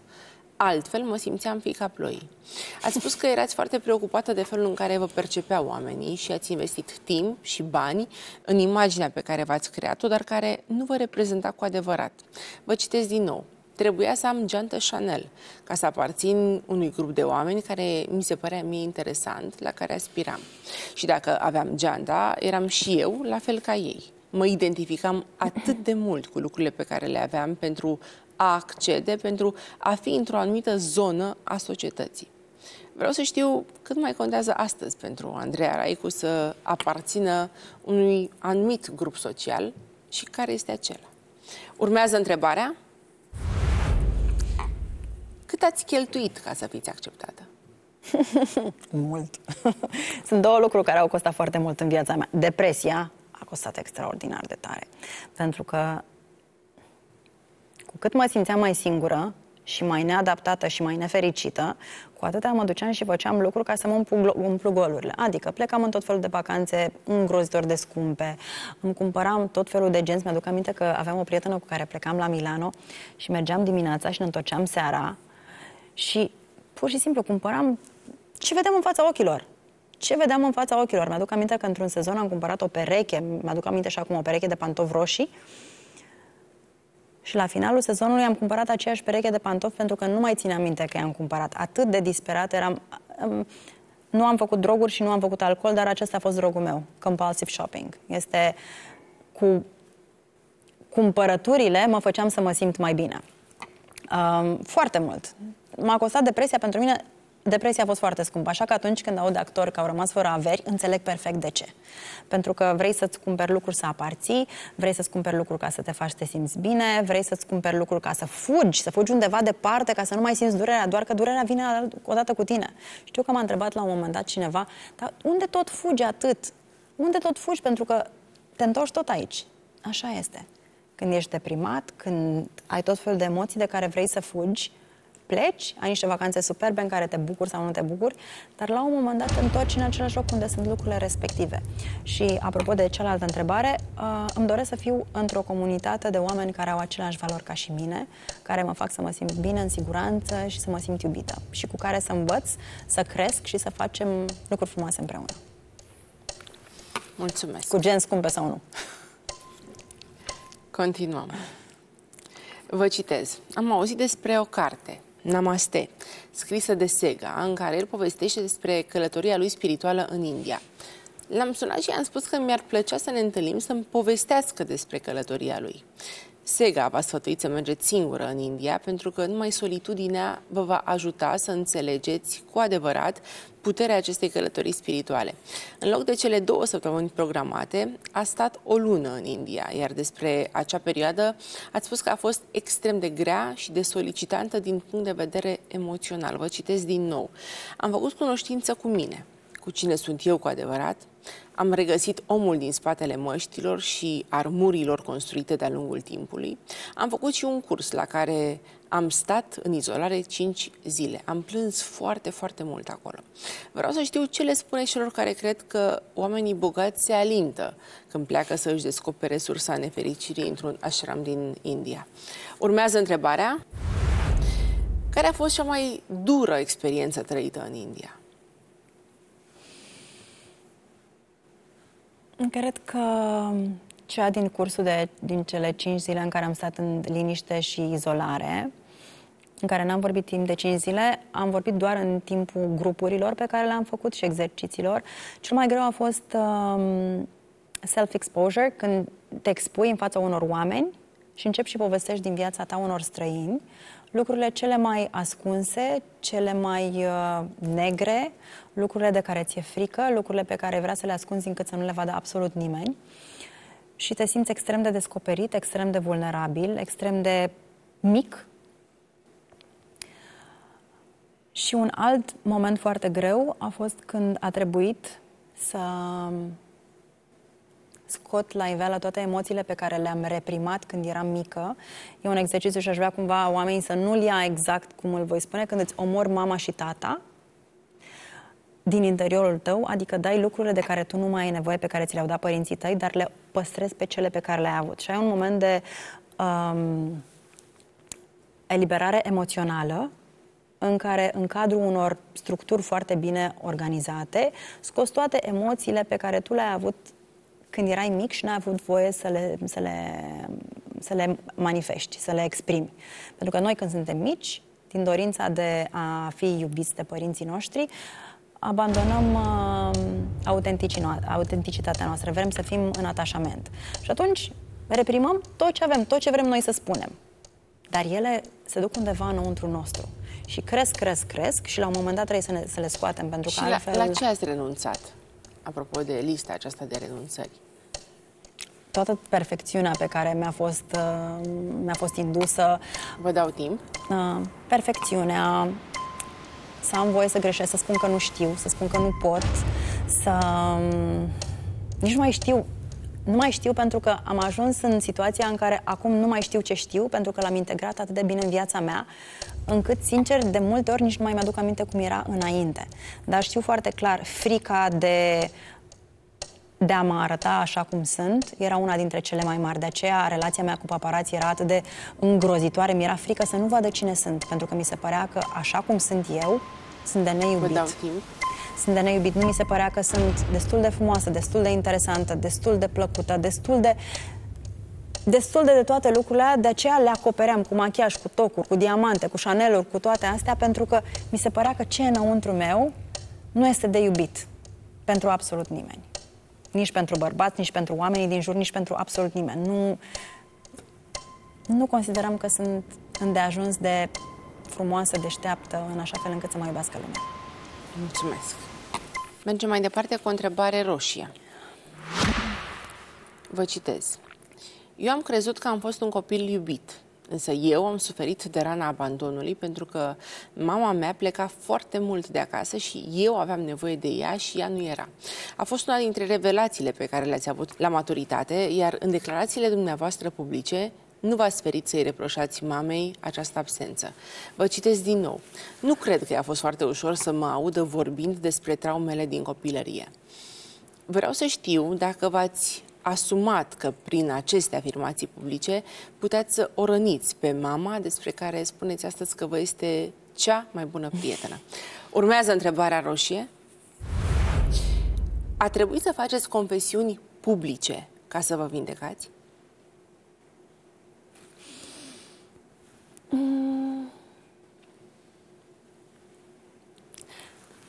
Terapia în grup te ajută să vezi că ceea ce ai tu în cap nu e realitatea, e doar realitatea ta. Și pe măsură ce grupul devine din ce în ce mai mare, vindecarea se produce din ce în ce mai ușor. Pentru că una e să-i spun unei prietene de ale mele un lucru care mă face să mă simt vulnerabilă și mă face să mă simt mai bine că l-am spus cuiva. Alta e când mă duc și spun la 10 oameni într-un workshop, este un pas înainte, văd că oamenii care au ascultat, au ascultat confesiunea mea mă plac în continuare, vor să fie prieteni cu mine în continuare, deci nu e ceva în regulă cu mine. Și după aia am curaj să spun la din ce în ce mai mulți oameni, pentru că asta îmi creează certitudinea că atunci când e, povestesc despre un lucru cu care eu nu sunt confortabilă, asta nu înseamnă că oamenii nu mă mai iubesc. Mi-a luat timp să înțeleg că noi suntem făcuți din foarte multe părți, unele ne plac, alteori, altele nu ne plac și când cineva ne iubește, necondiționat, iubește toate părțile pe care le, le avem. Nu se poate întâmpla asta decât în momentul în care noi ajungem să ne acceptăm toate lucrurile din noi, toate părțile astea care unele ne plac, altele, altele nu ne plac. În continuare sunt poate lucruri care nu plac la mine. Dar am învățat, am înțeles că sunt din mine. Um, iar legat de mama, am noroc că am o mamă extrem de înțeleaptă, extrem de inteligentă, cu care am vorbit foarte mult și ne-am deschis amândouă foarte mult și i-am spus că o înțeleg, că văd de foarte multe ori aceleași traume sau aceleași pattern și comportamente și la ea și discutăm despre ele și revin și spun, sunt fericită că este atât de înțeleaptă încât a stat și s-a gândit, a avut momentele ei de introspecție și am putut să trecem peste Vă momentele dau timp. astea. Și totuși, ați făcut confesiuni publice, dincolo de terapia de grup. A fost modalitatea prin care ați încercat să vă vindecați? Nu, nu cred. Deja vindecarea s-a produs în momentul în care, jumătate în momentul în care am acceptat și în cursurile respective. Nu, nu cred că am avut nevoie să spun de față cu toți oamenii ca să pot să mă vindec. A fost cumva o bucurie că am putut să împărtășesc cu oamenilor, pentru că mi-ar fi plăcut mie la un moment dat să am și o parte de cineva care să-mi spună lucrurile respective. Să-mi dea curaj și să înțeleg că e în regulă. Vă dau timp. Asta a fost motivul. Mi-aduc aminte prima conferință pe care noi am făcut-o, am făcut-o după venirea unui workshop, după venirea de la un workshop. Am vândut biletele în două zile. Noi aveam perioada de promovare trei săptămâni și s-au terminat în două zile și n-am înțeles cum. Iar în workshop, în conferința pe care am avut-o, am povestit toate experiențele prin care eu trecusem până la momentul respectiv. Și ce a fost extraordinar de frumos este că femeile au început să plângă. Vă dau timp. Au început să plângă și mi-au spus că au venit și din curiozitate și în același timp au fost extrem de bucuroase că au văzut pe cineva autentic care a vorbit despre experiențe, nu doar cineva care a citit niște cărți. Pentru că, într-adevăr, mă vulnerabilizez foarte tare în toate conferințele și spun chiar și lucrurile pe care le-am învățat în terapie sau le-am descoperit în terapie, pentru că Așa cum spuneam, odată ce mi le-am acceptat, n-am nicio problemă să le spun mai departe. Mi-aduc aminte când am descoperit într-o sesiune de terapie că toate eforturile mele de a face un bărbat să mă placă erau doar niște lucruri care nu făceau decât să îi îndepărteze. Pentru că eu vreau să le arăt cât de independentă, cât de deșteaptă, cât de capabilă sunt și n-am nevoie de nimeni de la nimic, pentru că asta știam că mi-aducea dragostea tatălui meu, încât un bărbat are nevoie să aibă grijă de o femeie, să, să, aibă, spa, să aibă loc. Un bărbat nu avea cum să aibă loc cu mine, care eram atât de independentă și ocupam atât de mult spațiu. Mi-a luat foarte mult timp să înțeleg asta. Mulțumesc. Ați vorbit deschis despre greșelile pe care le-ați făcut în dragoste. Ați dezvăluit că a stat într-o relație toxică timp de șapte ani, dar ați recunoscut și că v-ați nedreptățit partenerii atunci când ați încercat să îi modelați după gustul dumneavoastră. Nici dorința noastră de independență nu v-a ajutat în iubire, vă citez. Am făcut foarte mulți bărbați să se simtă prost pentru că nu i-am lăsat în niciun moment să creadă că am nevoie de ei. Cu timpul, ați înțeles că această atitudine își are rădăcinile în copilărie. Tocmai ce mi-ați povestit, vă citesc din nou. Tata îmi spunea că nu sunt în stare de nimic și că nu o să se aleagă nimic de capul meu și că toată viața o să am nevoie de cineva care să aibă grijă de mine. Și cumva, toată viața mea am încercat prin relațiile pe care le-am avut să îi demonstrez lui, care nu mai era, că eu nu am nevoie niciodată de nimic de la nimeni. Urmează întrebarea. Independența femeii omoară pasiunea bărbatului? Dacă, e- dacă e exagerată, ca orice alt lucru de pe pământul ăsta, creează dezechilibru. Și ce am învățat la un moment dat, mi-a spus un bărbat în timpul unui curs, în care eu m-am dus să mă trăinuiesc, să lucrez cu oamenii, mi-a spus, niciun bărbat sănătos și echilibrat nu o să vrea să fie cu o femeie care se comportă ca un bărbat.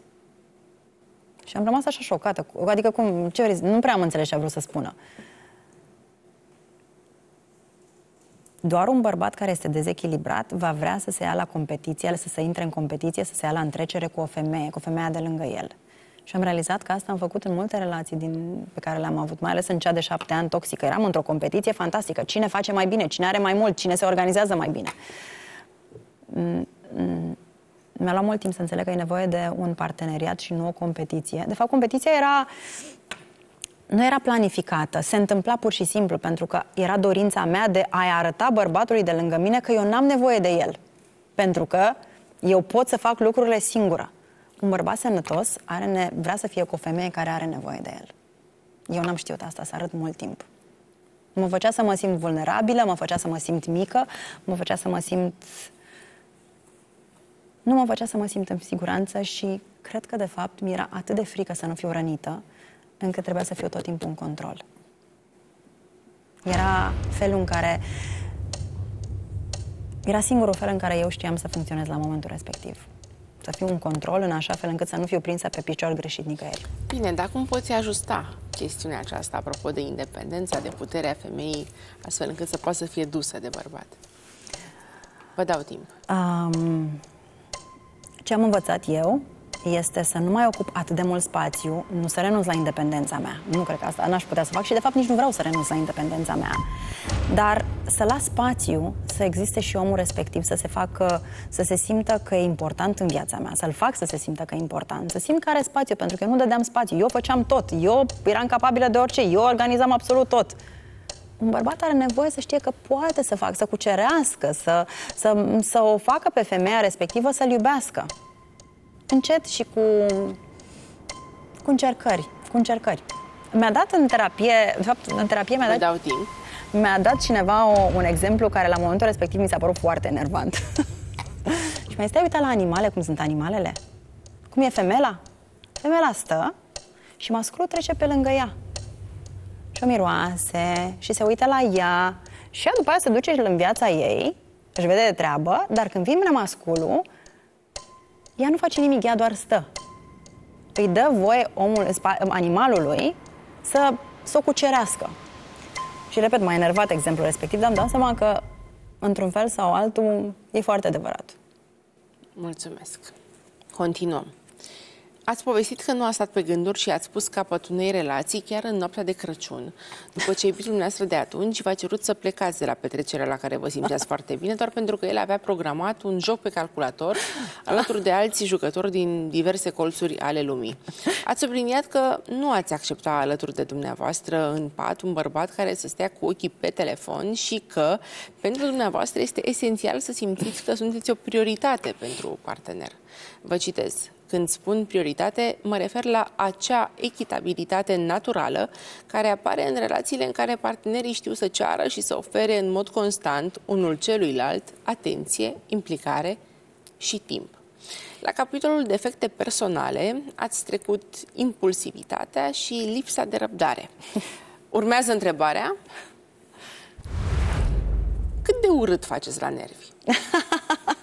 nu m-am amuzat foarte tare pentru că la momentul respectiv, într-adevăr, aveam doar 20 și ceva de ani și eram într-o relație cu cineva și care juca Warcraft, World of Warcraft. Și juca dimineața, seara, dimineața, seara era vacanță și juca în continuu World of Warcraft și m-am gândit să-i fac o bucurie și să-i cumpăr nu știu ce mouse care nu se găsea decât în străinătate, m-am chinuit să-i găsesc acel mouse. Și noaptea de Crăciun, mergem uh, la o petrecere și pe la 12 noapte zice, trebuie să mergem acasă. Eu gândindu-mă că cine știe ce seară frumoasă uh, organizase. Nu. S-a ajutat în fața computerului, s-a schimbat, s-a ajutat în fața computerului că avea raid. Ce este raid? Te, adică te întâlnești cu toată lumea, cu oamenii care joacă jocul respectiv din toată lumea. Și a stat el acolo și a jucat. Eu chiar m-am gândit că e o glumă, adică nu se putea totuși noaptea de Crăciun. Și m-am enervat atât de tare încât am vrut să arunc mouse pe fereastră și chiar m-am întâlnit zilele trecute cu el și ne-am amintit de această întâmplare, cât de, cât de tare m-a scos din sărită, că sunt, am rămas prieteni. Uh, nu, acum nu, am avut multe momente în care uh, eram destul de demanding, să spunem așa, cu o energie care venea și te, nu te făcea să te simți foarte bine, veneam cu o energie foarte greoaie. Uh, multă vreme am fost pasiv-agresivă. Nu puteam să spun ceea ce vreau și atunci, prin tot felul de, în tot felul de momente, veneam cu niște răutăți sau cu niște mm, înțepături. Um, după aia am, am trecut de pasivitate, agres- de pasivitate agresivă și uh, îmi exprimam emoțiile într-un mod destul de incontrolabil. Dar uh, în ultimii ani am învățat să-mi gestionez emoțiile și să nu, să nu se ajungă la lucruri de genul ăsta. Îmi spun când sunt supărată sau când sunt nervoasă, pot să ridic tonul, dar mm, nu mai folosesc uh, nici atitudinea, nici limbajul pe care le foloseam în urmă cu 10 ani. Mulțumesc! Mergem cu o întrebare roșie. Ați reacționat la scandalul declanșat de George Buhnici, care, printre altele, a declarat și că vrea să vadă femei fără celulită pe plajă. Ați postat un mesaj dur la adresa afirmațiilor făcute de el, din care citez Atât de multe femei de toate vârstele, dar mai ales cele tinere, cerșesc acceptare de la cei din jur și își fac rău fizic pentru a se înghesui în niște standarde imposibile și, cel mai grav, străinelor. Atât de multe femei se uită în oglindă și strâng în dinți frustrarea de a nu avea corpul perfect, corpul demn de a fi etalat pe plajă. Draga mea, tu, cea care, ca și mine, ai vergeturi și celulită, nu căuta validare din partea unor persoane din exterior. Pe tot parcursul acestei emisiuni ați vorbit despre cum ați căutat de-a lungul vieții validare, fie de la tatăl dumneavoastră și de la prieteni, fie de la public sau de la presă. Urmează întrebarea roșie. I-ați mai permite unui bărbat să vă spună cum să arătați? Dar nu cred că i-am permis niciunui băiat să-mi spună, bărbat să-mi, să-mi, să-mi spună cum să arăt. Nu cred că am avut niciodată. Ba da, ba da. Ba da, mi-a spus la un moment dat, da, a fost o remarcă. Nu, cred că, nu mi s-a întâmplat niciodată să, vină, să fiu cu un bărbat care să-mi spună cum să mă îmbrac, uh, câte kilograme să am, cum să-mi fac unghiile, cum să mă tund. Cred că nu am fost foarte deschisă sau am fost destul de dură când a venit vorba, sau tranșantă când a venit vorba de lucrurile astea. Nu mi-aminte să fi... Uh, aici, la mine nu era aici problema. La mine era problema cu mintea. Trebuia să am o minte super uh, bright, super dezvoltată și asta era singurul lucru care mă rănea în momentul în care în relația toxică mi s-a spus că sunt superficială. Parcă l-am auzit pe tata și m-am activat îngrozitor de tare și mi-a fost foarte... m-a apucat o furie cumplită pentru că problema mea era legată cu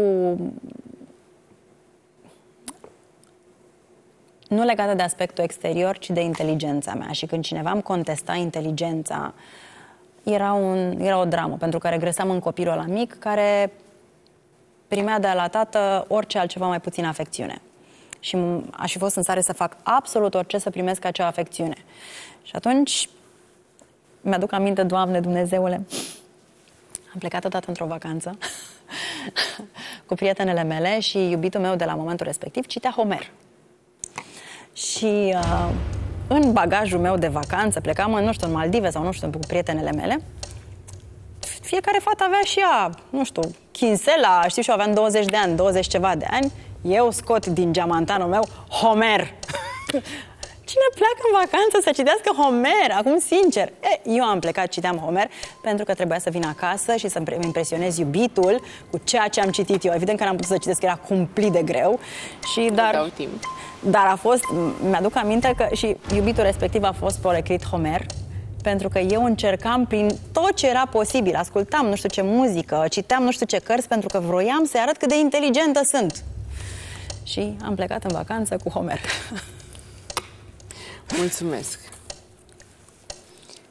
Sunteți vegetariană convinsă și ați spus că nu plecați de acasă fără să aveți migdale în poșetă.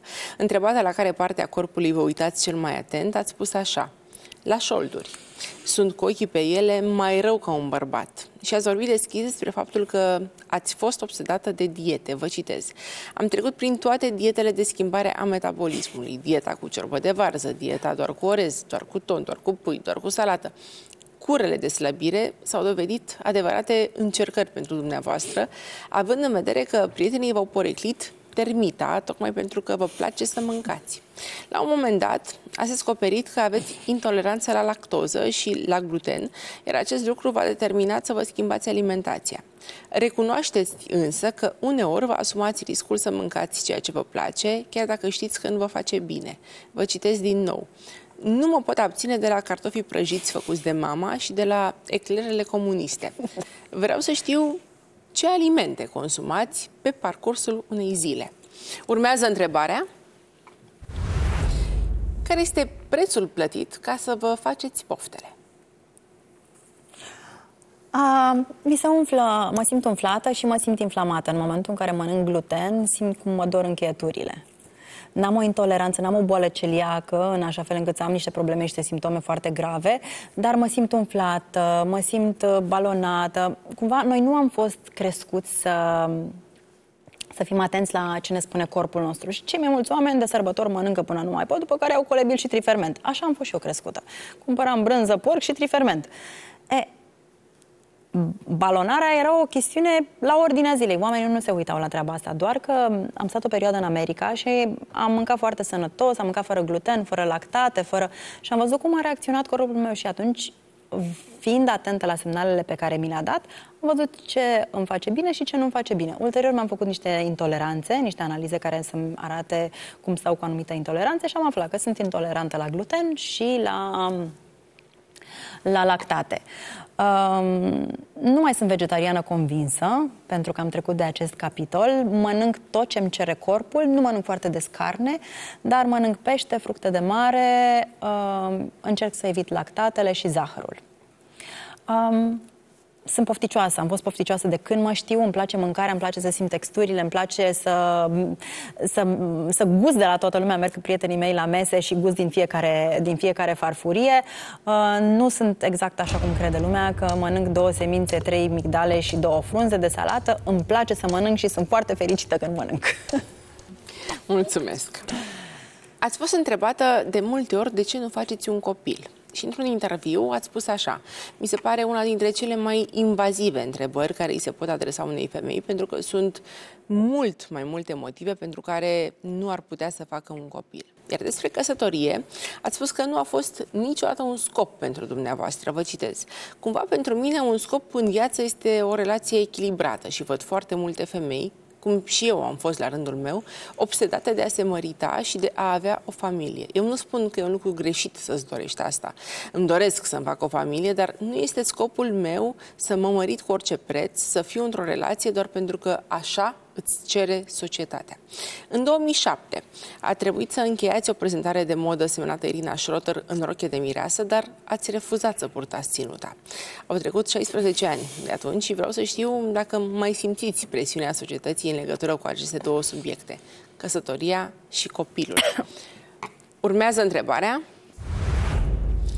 Vă vedeți în roche de mireasă? m-am imaginat de multe ori în rochie de mireasă, mai ales că mă pot imagina pentru că m-am, am, am purtat de multe ori rochia de mireasă.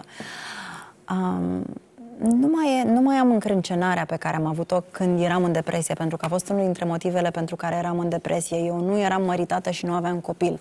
Viața pe care eu mi-o proiectasem nu era cea care se întâmpla. Asta este și am înțeles că e una dintre problemele cele mai mari pentru că noi ne creăm o fotografie de cum trebuie să arate viața noastră și ce să vezi? Viața noastră nu arată așa cum ne-am imaginat-o noi întotdeauna. Și de aici apare dezamăgirea, apare frustrarea, apare anxietatea, că nu se întâmplă lucrurile respective și depresia, ceea ce la mine s-a întâmplat. Uh, dacă se va întâmpla și voi considera că voi găsi o persoană potrivită pe care să mi-o doresc să cu care să-mi iau un astfel de angajament, sunt foarte deschisă, cu mare bucurie, dar nu este ceva de care țin așa cu încrâncenare, trebuie să mă mărit cu orice preț. Nu, nu-mi doresc asta. Mulțumesc. Continuăm. În 2007 ați adoptat-o la distanță pe Maria, o fetiță pe care ați întâlnit-o la un centru de plasament și de care v-ați atașat profund. Vă citez. Înainte de Crăciun am mers împreună cu colegii să le ducem câteva cadouri copiilor la centrul Macrina. Am observat că una dintre fetițe era destul de timidă și m-am dus să vorbesc cu ea. S-a lipit de mine și nu a vrut să-mi dea drumul. Maria urma să rămână singură în centrul de plasament de Crăciun, așa că ați luat-o la dumneavoastră acasă pentru două săptămâni. La finalul lor, ați decis să aveți grijă de ea pe termen lung. Ați devenit mamă la distanță și ați petrecut multe weekenduri și aproape toate vacanțele împreună, până în momentul în care fata a decis să se mute la mama ei naturală, care locuia în județul Constanța. De acolo v-a sunat în 2019, înainte de Crăciun, ca să vă anunțe că ați devenit bunică la 42 de ani. Maria devenise mama unei fetițe. Urmează întrebarea. Cât de mândră este bunica în Caraibu? Sunt foarte mândră, chiar m-am văzut cu ea zilele trecute și sunt foarte mândră de ea pentru că și-a crescut fetița într-un mod incredibil de frumos, fără să aibă neapărat un tată prezent și din nou mi-aduc aminte de expresia femeile nu sunt puternice pentru că vor, ci pentru că sunt obligate să devină așa. Și eu sunt aproape de ea, dar nu atât de aproape pentru că ea locuiește în Constanța, dar vorbim în mod constant, ne vedem. Și a făcut o treabă incredibilă și cumva mama ei nu mai, nu mai este printre noi și cumva ea se raportează la mine ca la mama ei și eu la, ca, la ea ca la fetița mea și îmi spune de foarte multe ori și văd toate semințele pe care le-am sădit atunci au prins și văd în, în trăsăturile ei de, de caracter lucruri pe care m-am chinuit la momentul respectiv cu foarte multă greutate să le, să le plantez. Și astăzi uh, o văd cât de... ce mamă bună și frumoasă este și câtă dragoste are pentru copilul ei și câtă deschidere și în același timp simt câtă multă nevoie are să primească și a dragoste la rândul ei de la o persoană pe care o consideră mamă, pentru că eu sunt reperul ei din copilărie, iar ea este pentru mine ca un copil și ne petrecem timp și vorbim împreună și facem lucruri împreună. De fiecare dată când merg la mare, ne vedem, o aduc la București, stă la mine și e, e o foarte mare, mare bucurie prezența ei în viața mea și a fetiței care este absolut geniale. Genială. Mulțumesc. Vă citez.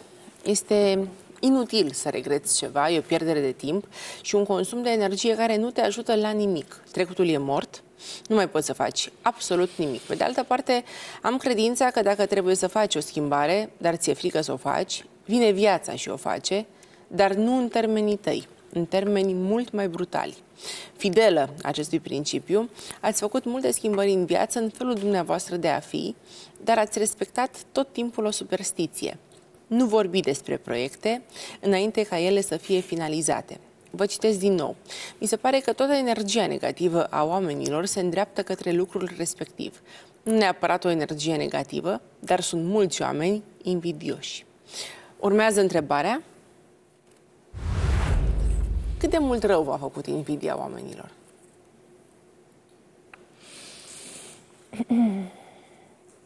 N-am ținut cont de acest principiu în ultimul an, când am uh, deschis showroom-ul, când am uh, lansat nou brand de haine Amalin și lucrurile n-au mers tocmai bine. n-au mers conform planului. Bineînțeles că am, am scos-o la capăt, pentru că nu-mi imaginam altfel. Dar, uh, nu știu, cred că lucrurile nu merg nu curg așa cum ar, ar curge. Um, poate cineva o să spună, da, asta e o superstiție și doar îți imaginezi tu. Dar știe foarte interesant că de fiecare dată când aveam campanii foarte mari și aveam afișe foarte mari în oraș, după perioadele aia mi se întâmpla ceva. Sau nu mi era bine, sau lucrurile nu mai mergeau așa cum uh, ar fi trebuit să meargă. Evident, poți, poți să te gândești că așa e viața și lucrurile nu merg întotdeauna bine. Dar cumva mi se părea că e o coincidență foarte mare.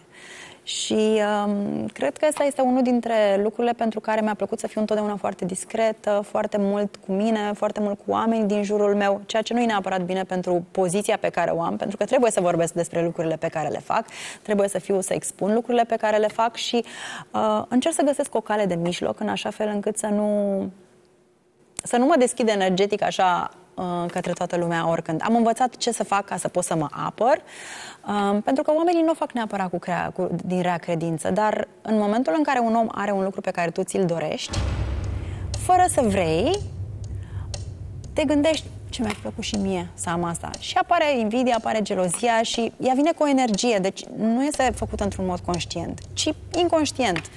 Pentru că poate tu ai muncit pentru a avea lucrul respectiv și nu l-ai, nu l-ai primit. Și te gândești că la ceilalți a venit așa peste noapte, ceea ce nu e adevărat, nu vine nimic peste noapte fără să muncești. Sau cel puțin nu din perspectiva mea. Mulțumesc. Vă citez. Am fost sclava fumatului timp de 14 ani, dar într-o zi am decis să spun stop. Nu am citit cărți, nu am luat pastile, nu am folosit plasturi, am decis că nu mai vreau să fiu dependentă de ceva ce îmi face rău. Ați făcut și un calcul din care reieșea că ați fumat peste 100 de mii de țigări și de fiecare dată când voiați să renunțați, vă era teamă să nu vă îngrășați. Ați scăpat în cele din urmă de acest viciu și nici nu v-ați îngrășat. Vreau să știu câtă ambiție aveți și dacă vă este ușor să faceți schimbări drastice în viață. Urmează întrebarea. La ce nu poate renunța Andreea Raicu? Mai multe lucruri. um, unele bune. De exemplu, mi-e foarte greu. Am renunțat la zahăr am avut perioade îndelungate în care nu am mâncat deloc zahăr, am pus gura pe zahăr, a început iarăși călătoria cu zahărul, pentru că dependența, nu te vindești niciodată de dependență. Trebuie să stai departe de ea. Dacă stau departe de zahăr foarte mult timp, nu mai îmi trebuie. Dacă m-am atins de zahăr, am început din nou să mănânc. Um, serialele de la Netflix um, Uneori când vin foarte obosită și am avut o zi plină, nu pot să mă culc dintr-o dată și nici nu simt nevoia să citesc. Am nevoie să mă relaxez și deschid un serial, deschid un film, deschid Netflix-ul. Și, sau un canal care difuzează seriale. Și spun, nu mai încep niciun serial pentru că nu mă pot opri și mă culc la două noaptea, ceea ce mi afectează foarte mult uh, stilul de viață. Și mă uit la un film, nu-mi place filmul și ajung tot la un serial pe care îl văd și spun nu mai deschid niciodată niciun serial, nu mai încep niciodată niciun, niciodată niciun serial, niciodată. Două luni până când încep din nou cu un alt serial. Deci, cred că dacă aș fi mai, uh, mai ambițioasă aici, pentru că de ambițioasă sunt foarte ambițioasă. Adică, în general, cam toate lucrurile pe care mi le-am dorit, cu adevărat, s-au întâmplat. Și cred că este o formă de o formă în care mă relaxez și mă simt bine. Doar despre zahăr se spune că dacă îl asociez cu starea de bine. Deci cred că este răsfățul meu. În rest nu mai știu ce alte lucruri pe care să le am, la care mi-e greu să renunț. Nu beau cafea, nu beau alcool. Nu, nu mă gândesc la altceva. La prieten aș putea să renunț niciodată și mă bucur că nu pot sau că nu trebuie să fac. Mulțumesc. Continuăm. De la fetița care considera că este prea slabă și are buzele prea mari, a devenit adolescenta care nu credea în frumusețea ei și apoi vedeta care cerea ca pozele să fie retușate în reviste. În ciuda tuturor acestor dubii pe care le-ați avut în legătură cu aspectul dumneavoastră fizic, ați câștigat concursuri și premii pentru frumusețe și ați fost ofertată la un moment dat să pozați inclusiv în Playboy. Vă citez. 100.000 de euro este suma care mi s-a oferit ca să apar în Playboy. Dar ați refuzat. Urmează întrebarea. Nu v-ați considerat suficient de frumoasă pentru Playboy? Asta întrebarea? nu. M-aș fi considerat foarte vulnerabilă și foarte expusă. Uh, era o ștampilă pe care mi-ar fi pus-o și uh, de care, cred că de care aș fi scăpat foarte greu uh, și cu care eu n-aș fi fost confortabilă.